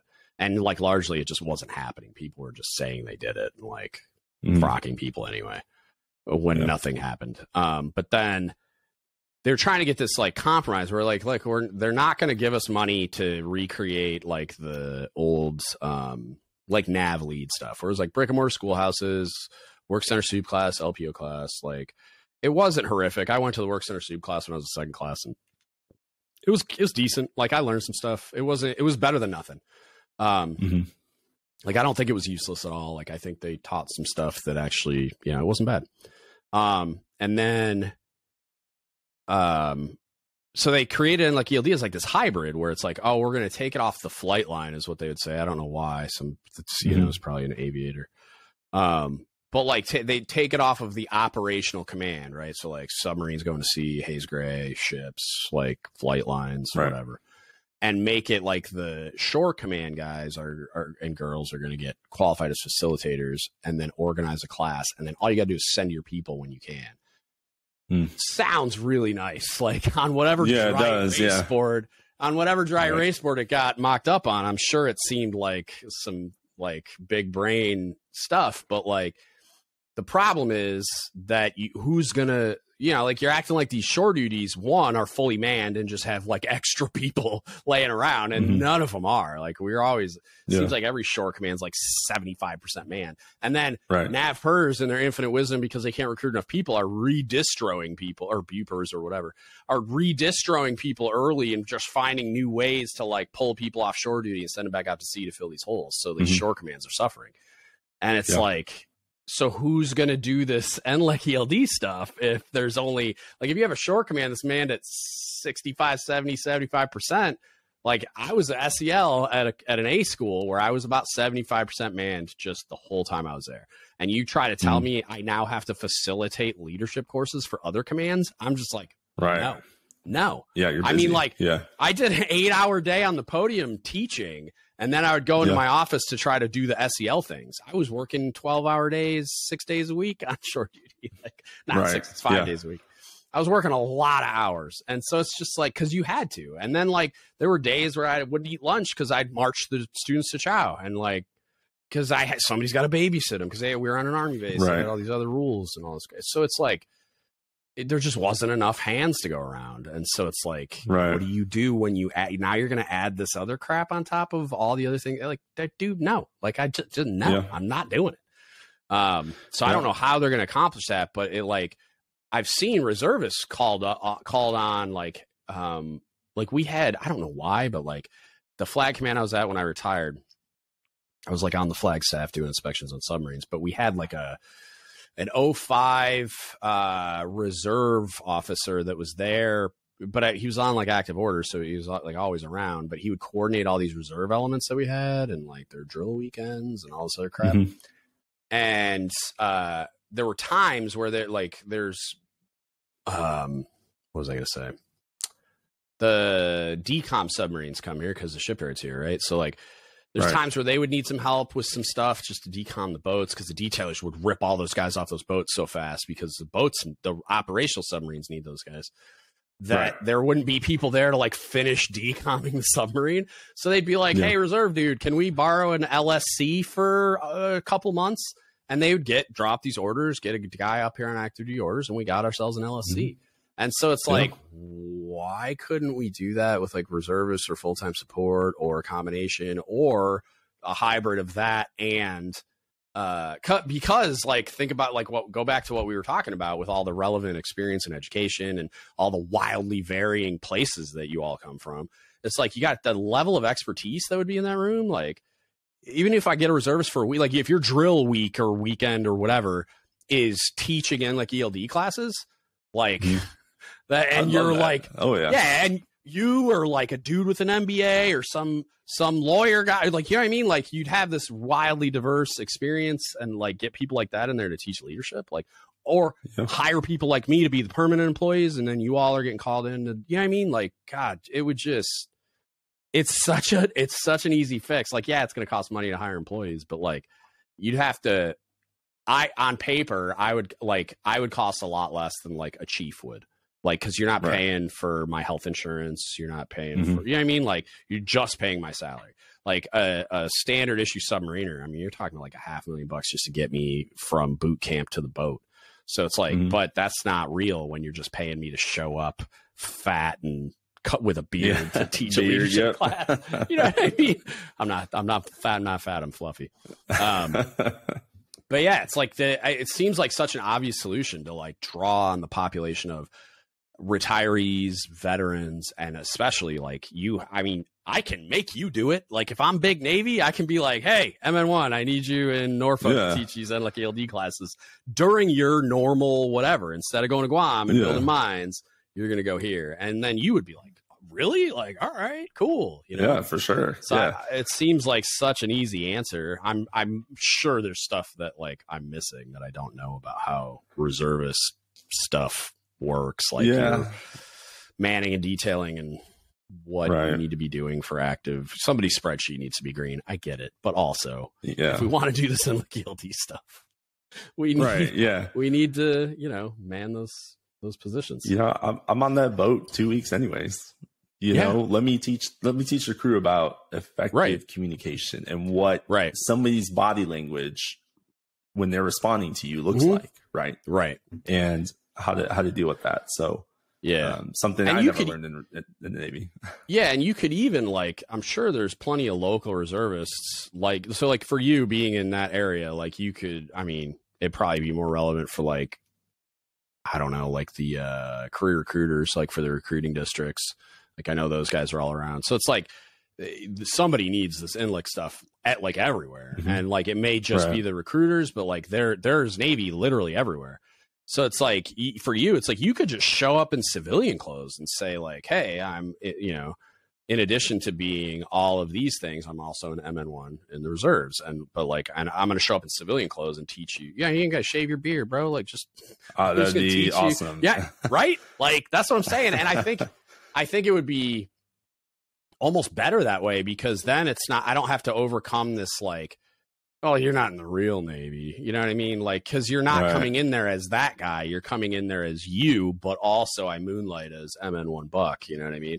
Yeah. So it's like I have real, I have active duty Navy experience. I, I'm a, currently a drilling reservist, and this is what I do in my civilian career. And so when you're coming there, you you almost have like that expert power going, where it's like you're coming in there as an industry professional in IT that does the following, blah blah mm-hmm. blah, and I'm going to teach you about that kind of stuff, like communication or whatever. Um, yeah, and there's there's yeah. there's even books out there on how to present a PowerPoint and how you're supposed to. and nobody in the Navy tells you that. You know, it's something I learned yeah. in the civilian world. Like this is how you're supposed to. You know, you start with your skills. Like this is who I am, and this is what mm-hmm. my background. So you know that if I'm telling you something, I at least have right. that experience of telling you something. It's not just like, oh yeah, right. you should totally right. be nice to that dude. And um, mm-hmm. I just think there you would have a little bit of a barrier. I think just I'm thinking about active duty like E four E fives and, like ELD class, and here comes this reservist on his drill weekend. it's like that's not gonna. It's like a substitute teacher in like middle school. You're gonna get your soul yeah. snatched out of your body. But I, you know, you do I will it the tell you. Way, nobody, at least in my experience, nobody's ever come up to me. Maybe they've done like, oh, these reservists. I've never yeah. had somebody say that to me, and I'm I like, get pissed. Go ahead, man there were times so I, I never because you're a reservist what happened was i worked on a flag staff i'm a master chief. I don't think i'm that important but it'd be real neat if i could just like have my own office that nobody messes with ever. It's not real. Right. i had like cubicle in a basement with all the other supply guys right and I would come in after the drill weekend, which I never really knew when it was, but I could tell when it had happened Monday morning. I'd come into my it's office. a mess. oh, yeah, my desk is a mess. My shit's all moved around. My computer's locked out by somebody I've never heard of. Like, like what is happening? And like, show yeah. some respect, dude. Like, yeah. log out. Like, I'm not. I'm yeah. not even like you can't use my desk. And like, and I had one of those uh, laptops that like went into a dock for my computer. I'm like, I'm just gonna start taking this home. Like I'm yeah. just to be a just to be a jerk, just to make it like so that nobody's at my desk because you're not like just be you're in another man's house essentially. Like just right, show yeah. some show some respect. Not that because I'm a master chief, because you're sitting at another person's desk. Put everything back where yeah. you found it. Maybe wipe it with a bleach wipe, which yes, I had on my desk, and log should, out yeah. so that I don't have to like scram my computer so that I can log in. And then you know NMCI computers, it's half the day my computer doesn't work now because I hit reset. like so, yeah. like come on, man. Coins are like, all moved around. And... Yeah, so that was me. like that was this me being salty about reservists. Was like sometimes yeah. they'd come in for meetings and stuff, and the Chiefs would be there, and I'd be like, I swear to Christ, if one of your yeah. people doesn't log out of my computer again, I'm gonna find you. I'm gonna come to your oh, civilian man. job and I'm gonna make a scene. like, jeez, like, yeah, dude, come on. But yeah, I don't. Yeah, I, I can't it, say. I've ever like been salty just because somebody's a reservist. I don't care. You can, it's not like you can tell. You know. I mean, it's a. Sometimes you can like, you go on a boat and people are like, I don't want you touching my stuff. You know, okay. it's like I, mean, I, I, get it. I get it. We we do it once a week, two right. weeks out of the year, but we're still the same as qualified in that. You know. Yeah, but your proficiency level is a lot lower. Submarines love to harp on proficiency, so it's like if you're not, if it's not something you do every day, like you're not going to touch anything without somebody supervising you. I can tell you that right yeah. now. Unless it's like low level stuff. Like if we're talking about like you're going to help my dudes do some admin, like okay, I'm not worried about that. But like if you're going to be involved in like a maintenance item especially like I feel like the con- the consequences of you guys doing your job wrong is stuff explodes when it's not supposed to. So it's like, yeah, I'm probably gonna have you a little oversight of like a more experienced, yeah. uh, or well, maybe not more experienced, but more proficient person with you um, right. to prevent that. It's like not like I don't want you to get training and, and increase your level of proficiency, but I also don't want anything to explode when it's not supposed to. I just want to go home and be like, I worked on a nuclear reactor. Come on. yeah, yeah. Nah, I almost got to go in the reactor compartment, but I freaked out and didn't do it. I like peeked in and I'm yeah. like, yeah, I don't want to. My wife's been in them though. She was a, she worked at the shipyard for a long time and she was a nuke like a mechanic, uh, but it's they were called ship fitters. Um, and yeah. so yeah, she's been all up in the reactor compartment and all kinds of other stuff. But it's a completely yeah. different navy than where I'm yeah, from. It's, yeah, it's like what's it's, a nuclear reactor? Submarines, man. It's weird. Yeah. It's a weird. It's funny. Like I was talking to, I did a podcast recently with a, a combat vet, like an army infantry combat vet. Great dude. Um, but he was telling his wild story, like firefights and and uh, I think they're they're in Iraq or Af- I think he was in Afghanistan. Um, yeah, he was in Afghanistan. I'm almost, I'm like 90% sure, but whatever. Mm. He was over there somewhere. and yeah. uh, so he's talking about the firefights, but then they got blown up by an IED a couple times. Wow. And like, it was wild. Mm. His story was insane. And so, like, for me, being a dude that's never been involved with any of that, like, to me, I'm like, Ugh, you can keep that, dude. Like I'm good. Like I'm glad I didn't go in my corner, and, and yeah. But yeah. then like he's, I'm talking to him about submarines, and he's like, "You can keep that. Like you're insane. I think you guys are." Yeah. You, he's like, "You could never get me on a submarine ever. I don't right. care what the like incentives were, how much money you're gonna pay me." He's like, "You could never get me to do that." And I was just like, really? Like, cause in, in my mind, yeah. I'm like, it's a lot safer than Afghanistan at the time. Like, kinda. I mean, like, the ocean's trying to kill you all the time, but like you know, like right. not really, under the water. Getting, it's like yeah, like not. I mean, we're pretty good at not allowing it, so it's like you know we got a pretty good safety record, but. Uh, yeah. But yeah, it was. It's funny when like because I've had some buddies say they met Navy SEALs that were just like, "You guys are insane," and I'm just like, "Oh yeah, you're insane!" Like what? Yeah, like, they do so much like le- like so much stuff that's so way riskier and like seems insane to me, and like I'm like, uh, like you you're insane. I'm not insane. You're yeah. Insane. But yeah, it's yeah. it's yeah. I, th- I feel like everybody thinks that about everybody almost, except for like you know I'm not. You never mind. I'm not gonna. I'm not gonna pick on anybody. but uh, so what's uh, yeah? I always everybody's like I don't get a lot of of uh criticism that's like ridiculous. Like most of it's constructive or praise. But then if I post an episode on Reddit, like stand by. But that it's right. I know what I'm getting myself into there. So it's like, but right, yeah, it's Reddit, I just yeah. won't post this one on Reddit. Yep. Life hack. Think it with my nugget.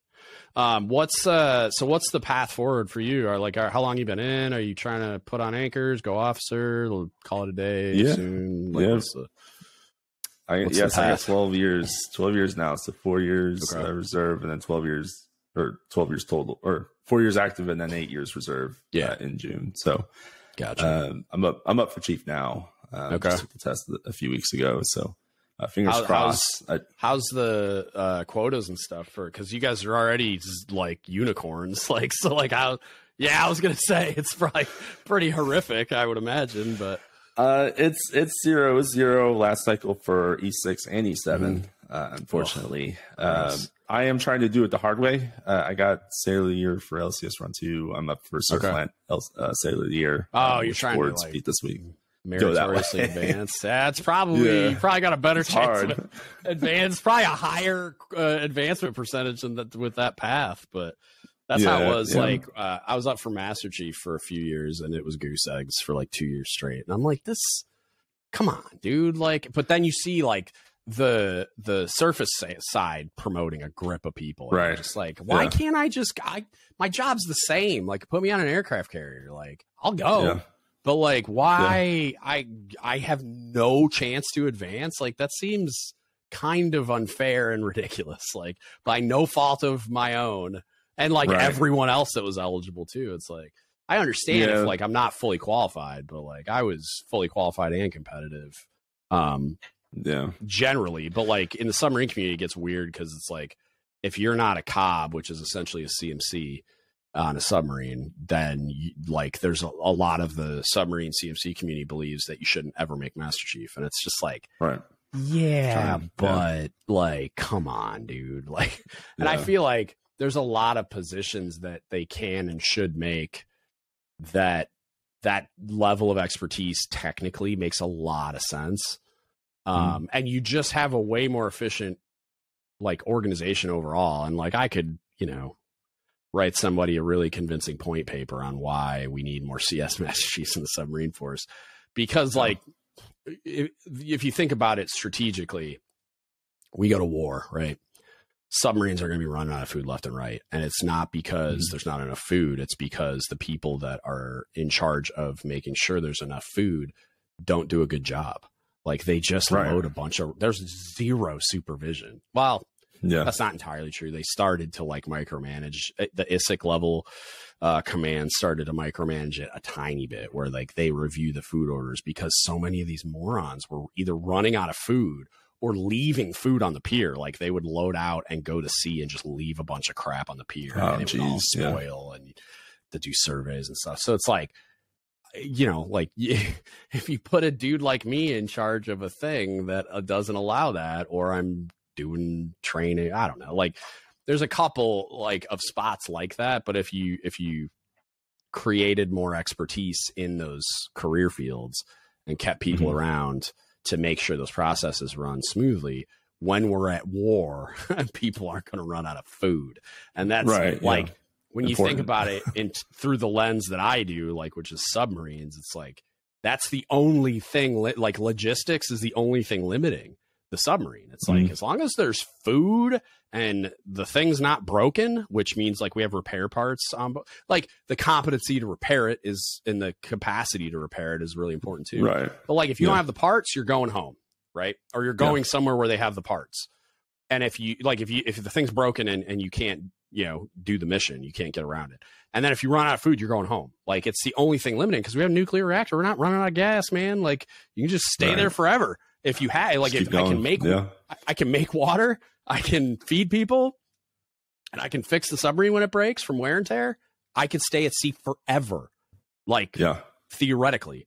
Um, and so it's not important to the nuclear navy, all the 1120s out there. I'm talking to you it's not important to them until it's important to them. You know what I mean? It's one of those like yeah. it's not important until it breaks. Like it's not important until your ship runs out of coffee in the like off the coast of country X.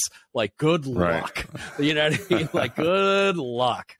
Yeah. So like that was one thing. Like I would leave with like two thousand pounds of coffee for and for a submarine that's preposterous. Wow. I'd come back with like a thousand. Like I was, wow. I would run out of everything before I ran out of coffee. Like, yeah. like the the uh, my I would wear out my poopy suits before I ever ran out of coffee. Like it was it was. Yeah. I I just was like, nope. I because I heard about a boat doing it and just how horrific it was, and I'm like, oh right, yeah, that understand. We, uh, we ran out we ran out of filters once, and so we had to like yeah, Jerry, like Jerry yeah, with paper yeah, and like the create the creative nature of an E4 can solve that problem, but you can't make yeah. more coffee. So like, yeah, I'm I'm I, coffee was one, and then I was on it. My very first submarine, my very first Westpac, we did. We were involved in Iraqi freedom launching tomahawks, and so like we did a six month Westpac, and we were on our way home, and they pulled us into Guam, loaded us out with tomahawks, and they're like, actually, go to the Red Sea, and we're like, Right. Uh, like we're supposed to be going home. So then we went and spent 83 days in the Red Sea, and then we went through the Suez Canal. So we went from the Red Sea to the Med, I think. Is that right? Mm-hmm. I don't know. Yep. To a different place because like we're tomahawks were falling on Turkey or something or Saudi Arabia yeah. or whatever. Then they were getting pissed, so they're like, you can't shoot them over us anymore. Um. So yeah, I went through the canal, went up there. We were going to shoot some more, and then I, I don't think we did. I can't. I think we only shot once. It was like over like 48 hours. I think we shot twice, but anyway. Mm-hmm. Um, but yeah, we ran out of flour for the reasons that I was explaining. You oh wow! You, yeah, right. You don't realize how much shit flour. flour. goes into yeah. until you run out of oh, flour. Yeah. Yeah. Oh my god! Like first we started rationing it because he like they realized it too late, basically, and then um, so first we started rationing it, and then it so it was like, do you guys want to keep pizza or do you want to keep like bread at meals? And they're like pizza night. Pizza, so then, yeah. and then it became like, okay, now we can't do desserts and bread at all, and we just kept pizza, I think, or something. I don't know. Um, and then it was pizza. just gone. And then like we did a couple of underway replenishments, and there were other submarines that stole our damn flour. So oh no, geez. and I don't know if they were running out, but I bet they weren't in as bad a shape as us. Uh, yeah. And I actually, ironically, uh, I met the cob of. So I was on Louisville, um, which is being decommed right now, and then Key West was out there. I, I'm pretty. There was three submarines, but Key West is the one that stole our fucking flour. and listen to this podcast. The, like, wait a second. So no, no. So the, it gets better. So when I'm at the A school, I'm the SEL there, um, and this civilian guy's there, but he's wearing like a tiny CMC pin. And I was like, "Oh, hey, like, where were you?" At? And he had, I think he might have had fish, like, like you know how dudes do on their suit lapel or whatever. Yeah, yeah. And uh, I was like, "Oh, what boats were you on?" And he tells me Key, Key West. I'm like, "When were you on the Key West?" He's like, "Oh, I was a cob of the Key West." Blah blah. blah. And I was like, really? and I start telling him what boats I was on. And I was like, you stole our flour, you mother. And then I like went into this thing like where I started oh, like, he's like, well, it wasn't me. It was my, it was my chop. Like it was my supply officer. I wasn't even there. Like he's like, but yeah, we stole your flour. Yeah. I was like, find me this supply officer. But yeah, it was, dude, it was rough because there was like, there was this one scene where like, uh, so we were, for some reason, my MS1 and his, so we're rationing flour. So he get, looks in the recipe cards and he finds the bread that requires the least amount of flour, and it was biscuits. Yeah. And it wasn't just right. like biscuits. They have this recipe for what's called drop biscuits, where you like use an ice cream scoop to make them. And the recipe's horrific. They're the worst biscuits mm. you've ever had in your life. Like yeah.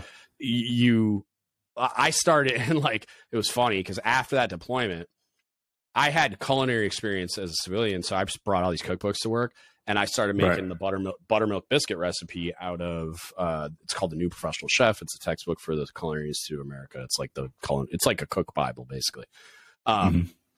and like it's the stand like the industry standard textbook. It's like if you're ever going to buy a book, buy that one.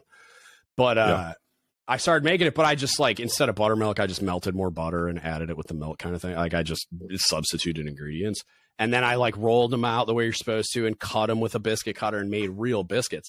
I put those out one day and the crew almost mutinied, dude, because on this deployment, they were making these horrific drop biscuits and I didn't have yeah, the book yeah. with me at the time. I didn't like know I could even get away. I was still qualified submarines. I was brand new. Like I, that was my right. first year on a submarine. So uh, they were making these horrific biscuits. So you're essentially like wasting flour because nobody wants to eat these things. They're like hard as a baseball. They're horrible. Yeah. So he's like essentially just burning flour for no reason because we don't right. have enough flours. And in his mind, it made sense. Um, and this one day, uh, this dude, Kevin Hines, shout out to Kevin Hines if you're listening. I doubt you are. He's our old retired, uh, I believe he retired as a senior chief. He was our assistant navigator. Uh, at the time, he was a first class. Enormous man. Um, mm-hmm. Really one of the like popular first classes on the boat. Great dude. And he like looked out for cooks too most of the time, me specifically.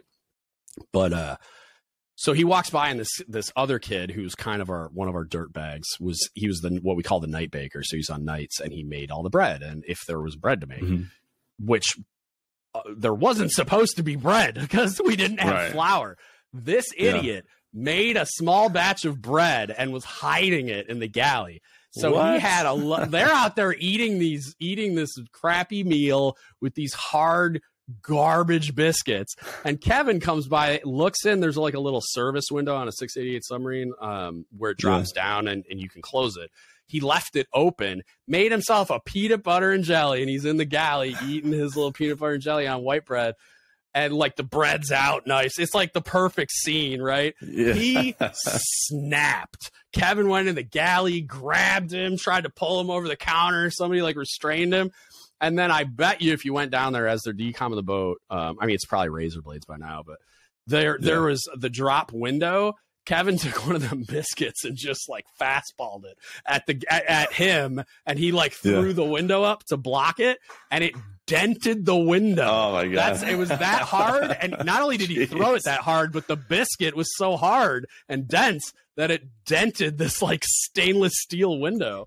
And so it was like, probably still intact, we, right? The yeah, I mean, I don't know. I wasn't there. Man, I would think it would probably at least cracked if it didn't explode. But like it would, and like there was a couple dudes that were trying to beat the crap out of this cook, and I was like, good. Like, I mean, he deserves it. One, but yeah. also like for doing that, like in the in the, and you got to think like we've at that point it's like people aren't pissed about not having flour. That's just like the twist of mm-hmm. the dagger. It's like everybody's pissed that they didn't get to go home on time that we've all been gone for nine months at this point. And yes right. we're running out of food but like everybody's just stressed out and and like wants to go home and whatever but um but yeah like it's just it was wild. But anyway yeah like we ran out of flour on that deployment and such a dumpster fire yeah, but, I can't. I can't recall any time we ran out of food. We'd always be on. As soon as we secured from sea and anchor, we were on water hours. Like, all right, yeah, water yeah. hours. We're like, oh, we don't get to take a shower this this is this trip. So, oh yeah, um, yeah. Like they do that on submarines sometimes. Like we used to. I managed to catch an evaporator on every submarine I was ever on. Um, they they replaced it with what they call an RO unit, which is reverse mm-hmm. osmosis, mm-hmm. I guess, where right. it's just it's like you you can just take Hollywood showers all the time, and it's like it's so yeah. efficient and it barely breaks. But like those evaporators were held together with chiclets and duct tape, and it was hard to get the parts and all this other stuff. So mm-hmm.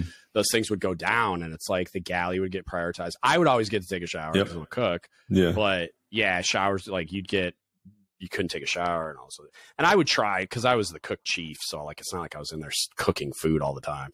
Um, so like I would you know like I'd go every other day and like eh, right. when they were doing i'm like because like i don't really need and like the chiefs would still give me a hard time it's like dude i still got to go in there and like supervise and train and like so it's like yeah i'm not not taking a shower every day especially like there were times I'd go in there and I'd come out like covered in flour and sweating and like, yeah, I mean, like I'm not, not, yeah, well, nah, I'm talking yeah, different. I don't yeah, run yeah. out of flour. I have a load plan, but, uh, yeah, no, it's, it's, it's it happens, but it's like I yeah, I managed to catch a the old technology. And so like by the time you know like we were like the last submarine in the pacific fleet with an evaporator and it like so it's you know breaking down every five seconds and there's no parts and yeah. Yeah. Good times. Story of minesweepers yeah. So glad to be a retired guy. Um yeah. What's uh is there what what are some of the uh, did we catch kind of oh, shit drop my Girl Scout cookies. Did we catch all the things that you want to talk about directly cuz I just been asking you questions off the top of my head, but I, I don't want to not. No, yeah, I think uh, I want to make sure we scratch the itch, man, like Yeah, I think talking about the how to utilize the reserves the best. Um, especially if we're going there for 2 weeks anyways. Um, yeah. take our skill sets and you know a lot of a lot of smart guys yeah, um, who have a lot of experience in different jobs outside of the Navy is is key. Yeah, different culture yeah. environments, and just come to the ship and just teach. You know, or I don't not even teach, but just give them like I don't think people realize that you're there to be leveraged. To be honest with you, like I remember. Yeah. When I was at, so I was on that army base, and it's like a pretty joint environment, even though it wasn't a joint base proper. It was like a an army base, and it just had everybody there. But we, um, we were doing like we we'd send kids overseas, right? Like they'd get orders to Japan to a ship or to Rota mm-hmm. to a ship or whatever. We have to do these overseas screenings. The army, of course, because it makes any sense at all, doesn't use the same paperwork, doesn't do the same process. So we would get calls from like commands in Japan, like how this person shouldn't even be over here, and it's like well, they did their screening and got they said yes, and so we sent them over there. And they're like, mm-hmm. this is like AR form, whatever. Like, what is this? Like, this isn't even the right. And I'm like, dude, we're all cooks here. Like, what do you want from yeah. me? So I'm like, I told, and then like when I checked into that command, uh, they told me to take my medical records home, and I'm like, what? And they're like, yeah, right. the medical here wow. is horrific, and they'll lose your record, and so like you shouldn't just just keep it yourself. Give it and I'm like, yeah. And I, I immediately am just like, that's not real, but okay. So I'm like, well, I'll, I'll, come back to that. Like I'm still checking in, you know, and so I'm like, I'll, I'll come back to that when I'm like, I know my way around. So eventually I'm like, all right, what are we doing? Cause like I'm going to medical, like, and they're seeing mm-hmm. me and they're keeping records right. somewhere, but like they didn't have my medical record. So none of that stuff's in my medical record either. So I'm like, dude, I need, I called our headquarters and I'm like, I need a corpsman. Like I, I need somebody here. I, this isn't like I need a corpsman billet. Like get me like an HM2 that knows kind of right. what they're doing with like particularly records and screenings and stuff. And they're like, dude, you're not going to get a billet for a corpsman, but yeah. call the like find the nearest NOSC. And I'm like, what mm-hmm. the hell is a NOSC? And they're yeah. like, start explaining. And he's like, call the nearest NOSC, see if you can get like a reservist to come drill there. And while they're there, all they'll do is records and screenings. I'm like, yeah, but that doesn't really fix my problem of like I don't have like if they're not here all the time, but we're doing screenings all the time, that doesn't really fix it. And they're like, dude, best case scenario, sh- the the corpsman you get trains the navy or the army people that are at this clinic. Right. There was like a there was they did a lot of army AIT, which is like a navy A school. So they're they had like staff medical and then there was like the troop medical clinic was for the students. And so they had like mm-hmm. nurses and uh like I don't even know medics. I guess I don't know what they call um, army like corpsmen. Essentially, I know they have yeah. like medics, but I don't know what they're called. So, uh, it, and it ends up working out like incredibly. So, like, I call the NOSC. I get in touch with their SEL. Uh, it's like a command chief, and uh, we get an. Uh, at the time, she was an she was an HM two, but she was full time support, so she was always there. Mm-hmm. So I right. got her all the time. Like not like she still had to do things for them too, but like um I got a lot more of her time. And uh she was outstanding. Went over to the clinic and trained up all their people, and then was not only that, but she, she's like, "Where are your? All? I'll go through your medical records." And I'm like, "They're at home," and she's like, like she's just like, "Oh my god!" And she's like, "Yes, yeah. go get your medical record." I'll go through it, blah, blah, blah. And then she ended up becoming kind of like a friend of mine because, like, we went to the same CrossFit gym at the time. Um, she made first while she was there and made chief. She's now uh, some kind of officer. Uh, she got commissioned in a like medical administration, I think, and she's like a JG yeah. or something. She's she was so it turns out I got a hot runner too, kind of like maybe it was by accident right. or luck, but um, I didn't even know that was a path. And like when I I had this this not even a gapped billet. I just didn't even have a billet that I should have had. Right. Yeah. Uh, because it wasn't a proper joint base, because I so I didn't have corpsman. You know what I mean? And so it's like it, she fixed all that stuff. Like the overseas screenings were fixed. The and and like I still have heartburn because I I was about to transfer. And I started routing her a NAM just because mm-hmm. thank thank you for everything you did for us. Because she fixed my match. She mm-hmm. got all the stuff for, that I got saw for while I was there put into my medical record, which then contributed to my disability and everything else when I retired. So like, thank God right. she, I, I, mean, I was on it asking those questions, but also like she did all that for me and put it in my record. She's like, your IDC is going to hate me because I didn't organize any of this shit, but it's in your record. so I'm like, that's yeah. all that matters. I'm like, that's fine. Yeah. My doc, my doc will get over it. Um, but yeah, it's like you, you have these paths available to you. And I don't know how many Chiefs out there. This is probably the most important part of the podcast because most of my audience is, I do have reservists listening, but most of my listeners are active duty sailors. It's like, right. especially for the chiefs and officers, it's like if you have gapped billets, especially shore commands, this sh- it, it, should almost never be happening. It's like go leverage your reservists, go to the NOSC, right. form a relationship, um, and like and like that, like that, or like me at the time, they probably don't even know what a NOSC is, and if they do know what a yeah. NOSC is, they don't know that they can go, hey, I need this. Do you have anybody that like could um come do their drill time here? Because like I hear a lot of stories about like drill week and everybody's just sitting around looking at their phones. It's like, no, I have yeah. I have stuff for you to do. I have a lot of stuff right. for yeah. you to do. I like yeah. like basic enlisted submarine school in Groton, Connecticut, because shout out to Chief Bob. They got a lot of stuff for you to do. So it's like I don't know that everybody realizes that you guys exist and you're happy to help and you have the expertise to help. A lot of times you have expertises that they like hidden expertises. I got to get out of secret decoder ring to find out that not only can you do mineman things, but you're an IT expert. And and it's not like you're yeah. not an IT, but you kind of are. You're probably better at it than most ITs in the Navy. so like, you know what I mean? Like there's so much hidden value there, I guess, is like people really need to explore that as an option, especially in the environment the Navy finds itself in right now, where they're giving out six figure enlistment bonuses just for you to fog a mirror. And they're like right. giving out crazy SRBs to try to keep people around and like all this other crap. They're waiving PRTs and sh- like oh, you can yeah. just there's no like they just validated the lower your standards meme for everybody by just low, literally just lowering the standard. Like, oh, you had all those PRT failures no, you didn't. like, yeah. Let me wave they, my uh, magic wand. So they, I mean, now they call them NR, NRCs. I think. Oh, not so not NOSCs anymore. anymore? Okay. Yeah, they they changed they changed the the wording, but gotcha. You know, like what you're saying, like if you have reservists nearby, you know, ask Ooh. them ask them what they do in the civilian world. Like, yeah. If you really want that for your command, right. and you really want, like, I have first classes that need to learn how to do this, or I need I need mm-hmm. to build out my bench of second classes so that yeah. when they become first classes, they're not like a deer in the headlights trying to yeah. leadership. Yeah. You know, just come over and and, and talk. And, and you know, like you said, reservists sometimes some locations, yeah, they do sit around on drill weekends and right. roll their thumbs and do their paperwork and stuff. Mm-hmm. If you can do anything that makes you set yourself apart, I mean, even when it comes up to board level time, I mean, that's really going to look well on them, but you're also yeah. helping out that command. Crazy so. eval bullet. Like I, when, when, uh, shout yep. out to Jill.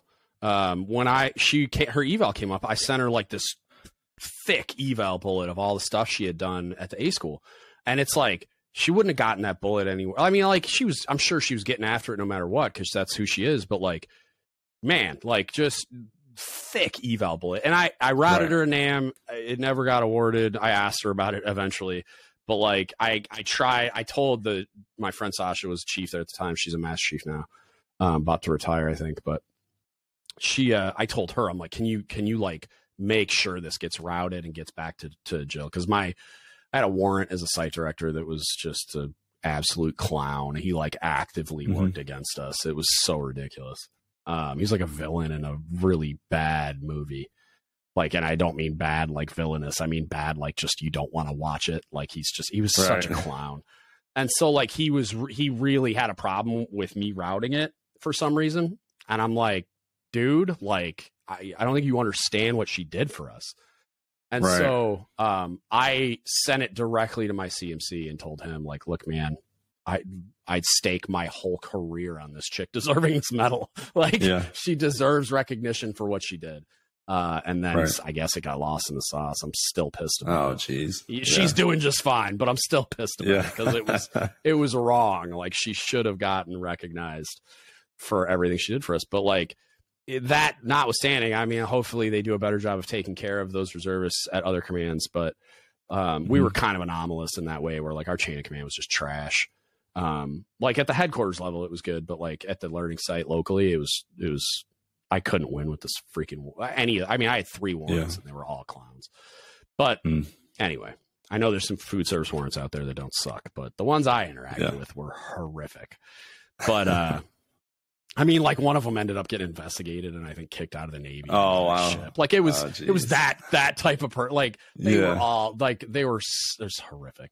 Um, but yeah, so uh, yeah, take advantage of it. Like that's the I think that's the moral of the story is like, not, and, and again, like not just like they don't just have the competency of their rating in their or their career field, and, right? Or, yeah. or like warfare community, even they have the competency of whatever the hell it is they do as a civilian, which is clearly not always like you can't yeah. go do mine repair as a civilian. Probably like I can't no, imagine that if, was. If, eh, it was a real thing, it'd be part, like as yeah. a DoD civilian, you know, like that was the worst part in getting out in, in 2012 off of active duty. Yeah, it's like I'm a mineman. Yeah. What do I do? And it's like, yeah, uh, you can go turn wrenches somewhere. It's like that's uh, you know I spent yep. my four years doing that. Like I don't right. I don't know. So yeah, um, it's like the yeah, it's we, like the. Have you ever watched? um I think it is it the Pacific. It's like Band of Brothers, but it's about the Pacific yeah, War and World War II. So yep. the dude, one of the dudes, he's the journalist kid that comes back uh, and he's at like some kind of job fair thing, and it's like there's a whole bunch of like vets there or like guys in their uniforms trying to get jobs, and they all are like you know like supply or like uh, they were doing something right. else, and he's like a trigger puller. He was just like an infantry marine that was like storming the beaches at Guadalcanal, and he's like explaining to her the chick this chick is at a typewriter she's asking him like can you type do you have these skills do you have that skills yeah and she's like do you have anything that you're good at? Yeah. He goes, he, and he like slams the table with his fist. He's like, I'm really good at killing Japs. You know, I'm right. gonna edit that out because it's uh, it's like a slur almost nowadays. But like, you know what I mean? Like he's like he's like, uh, and he says something to the effect of like, I don't like, do you got anything that that's relevant to? Like, or he goes, they taught me how to kill the enemy, and is that like, you know, um, right. Is could you got yeah. any jobs where that's relevant? And then he ended up uh, becoming like a reporter and he wrote a bunch of books and stuff. But like yeah. it's funny because he's like like the chick is like almost getting frustrated because uh he like isn't he doesn't have any like skills that translate to the right. civilian world yeah. and he's like it's not my fault we were at war yeah. like yeah. like i was doing war that's when you got any jobs where war is a good resume bullet like yeah killed a bunch of people and lived in horrific circumstances and yeah as well, well shout out but, to all the uh, companies that help um, sailors when they get out take that killing yeah for to real. something a little bit more yeah uh, translate that into yeah. all the all the attention to detail and dude i was just helping my wife update her resume right before this and um but yeah, like I remember the confusion I had getting like when I was retiring, I was trying to populate a resume, and it was more was for TAPS, I think, originally, and then mm-hmm. um, I did end up applying for and getting uh, signing an offer letter for a contract position, and then the contract didn't get awarded uh, for my mm-hmm. part or whatever. Um, but like, yeah, I'm like trying to translate all this crap to a resume, and I'm like, and I'm I'm probably better at it now than I was before, and I'm pretty good at like writing and like English is kind of my jam. But yeah, it was like it is kind of weird where you're sitting there and you're like, man, like what did I do? And it's like, and it almost feels like, you know, those evals that some people write that are just like super embellished, like where it's like. yeah, I did some stuff, but like when you yeah. read it, like you're, or even like a NAM citation or a flag letter, you're mm-hmm. like, you're like like I used to feel that way every time I wrote a flag letter for an FSA. I was just like like it and it's what they're doing is important, but because of how we format like flag letters, you're making it sound like they did something like valiant that like you right. know, and it's like it's necessary, but like do you deserve a flag letter for it? I don't know. Like Yeah. Um, but yeah, it's and it's like some of those flag letters, like they didn't spend the whole deployment with me. They went back to their division and qualified things, and you know stood mm-hmm. sonar watches so that we were safe. Like yeah. so, they did those things too. But it's like, yeah, when you're like sitting there, sorry, I'd have like chiefs email me because their guy was was FSAing, and they'd be like, "Hey, can you send me a bullet about him FSAing?" Because they didn't have a lot because you know they're new, they're still qualifying, so like, yeah, there's yeah. not a lot of meat on the bone for their eval. And so yeah, I had like the standard eval bullet, but you're just like when you're trying to write it, you're just like, oh my god, like it's like you're trying to like stretch the truth and stuff. And that's what it felt like trying to write my resume. And it's not because in my case, it was because I was writing about myself and I'm trying mm-hmm. to translate these things. And to me, a lot of the things I did were just like whatever. Like it was just like what we were doing and and trying to translate yeah. that not just into something that sounds like attractive to an employer, but is like I also have to like translate all the military stuff and like yep. And like I'm like, oh, did I like what did I do? Like, did I manage right. teams and like uh, I don't know what to do. But yeah, I will yeah. say um, I don't know if you've heard of it, uh, uh, Chat GPT. Um, yes, if you, str- if you struggle with writing uh, your resume, I've heard of you it. can send it through that and correct grammar. It'll correct your grammar. You can um, have it write your resume for you too. Um, I'm so. so freaked out by that. I'm an old guy, dude. I'm so freaked out. I'm freaked out. I ordered an Amazon Echo that I'm gonna return because yeah. I wanted. So I have like blink cameras, and I wanted like yep. a monitor that displayed my blink cameras. Yeah. And I just casually like I'm like looking on Amazon for a monitor of some sort that I can hopefully link up wirelessly. Um, and it it's like, oh, this Amazon thing. And I'm like, I told myself I would never have one of these devices in my house because it freaks me out. And mm-hmm. it's like, it's wild. I don't trust that somebody's not listening constantly. And and I kind of go back and forth because I'm like, well, listen to what? Me farting on the couch? Like, who cares? Like, but also, you know what I mean? Like, it's still, I still have that, like, I'm a little freaked out by it. And so, like, the only way for you to display the cameras is to go, Alexa, show garage and it shows me that, and I'm like, oh, nope. Yeah. I, and then I was going through all the privacy settings, like shutting everything off, like so that it wasn't like monitoring me. That thing records your every time you say, and the thing says like if you every time you say Alexa, everything that comes after that it records it, and it's something about it learning your voice and being mm-hmm. better mm. at doing its creepy thing. But like right. I was just like, nope, it's recording me. I have proof, and I like shut those things off and deleted the recordings that were there already as I was goofing around with it. But then it it and it like it does it like takes liberties it's weird like i've mm-hmm. shut off everything and it's still like suggesting like podcasts to me and like telling me yeah. i should play this game or i should do this and i'm like just shut up just show me the weather yeah. and the time and display the cameras when i tell you other than that you're no. not allowed to do anything but i can't not make anymore. i can't make it that way like it's like they have yeah. created it in this way that like it just peddles st- stuff to you that you don't even want. And I'm just like, nope, yeah. I'm done. Like this thing is so. You just got to throw throw away your phone, throw away everything. And, well, and just... that's what, that's what I was telling my wife too. I was so freaked out by it, but I'm walking around the iPhone 13 Pro Max thing with like 900 cameras on it, and it's probably listening to me. And like we yeah. joke around all the time yeah. with like the ads and the stuff you see in your like Facebook feed or whatever, and it's like your phone's totally listening to you.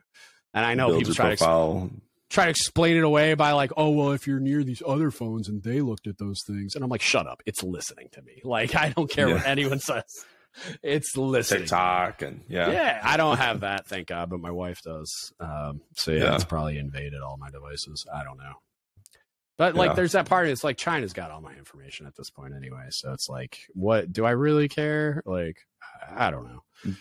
Dark web's a wild place. Everybody, Weird, yeah. It's like what? How do you how do you delete all your information? There's books like that. I have a, I have a yeah. book back here. It's like extreme privacy: how to make yourself disappear, and it's just like the amount of work you have to do to scrub yourself yeah. after you've been online for a long time. It's just yeah, and that's kind of like I, I'm in this weird place where it's like I feel like if I was ever in a situation where I needed to like make myself disappear, it's like I would go like into the wilds. Like that's how I would disappear. Like I would just burn in, everything Idaho and walk and... away. Yeah. Like I'd just be gone, I, and like I'd be completely off the grid doing whatever weird. Yeah, but that like the only way that would ever happen is like World War Three or like some dystopian post-apocalyptic future. But like, yeah, I don't, and so that's why I think about it. and I'm just like, does it like really the only practical worry that I can come up with is like identity theft.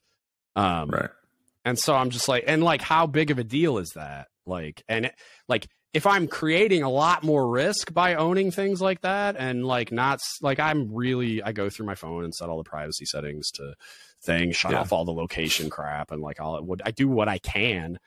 But like at the end of the day, it's like I, you know, I use a VPN, and all that kind of. But like, yeah. I'm not you. I'm an idiot. I don't know. I'm not a computer guy. I'm not a network guy. So like I don't know, but also like how it's like I'm sitting there, I'm like, how worried should I even be?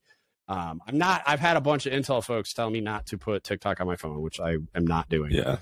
Um, but it's on my wife's phone, and from what I understand, it can like get onto other devices from the device that it's on if they're like on the same network and near each other mm. or whatever. I don't know. Yeah. Like the the invasive part of it. I guess I don't know. Who knows? We're so off topic. It's not even funny. like you're getting some good life advice here. You know, yeah. Go, hey, we, we can do go. more of that after uh after I stop recording. I don't want to yeah. subject the audience to my like I already all this, yeah, over my yeah. own privacy or whatever. But uh, well, thanks, man. This was fun. Uh, I appreciate your time. I will yeah, uh, sure.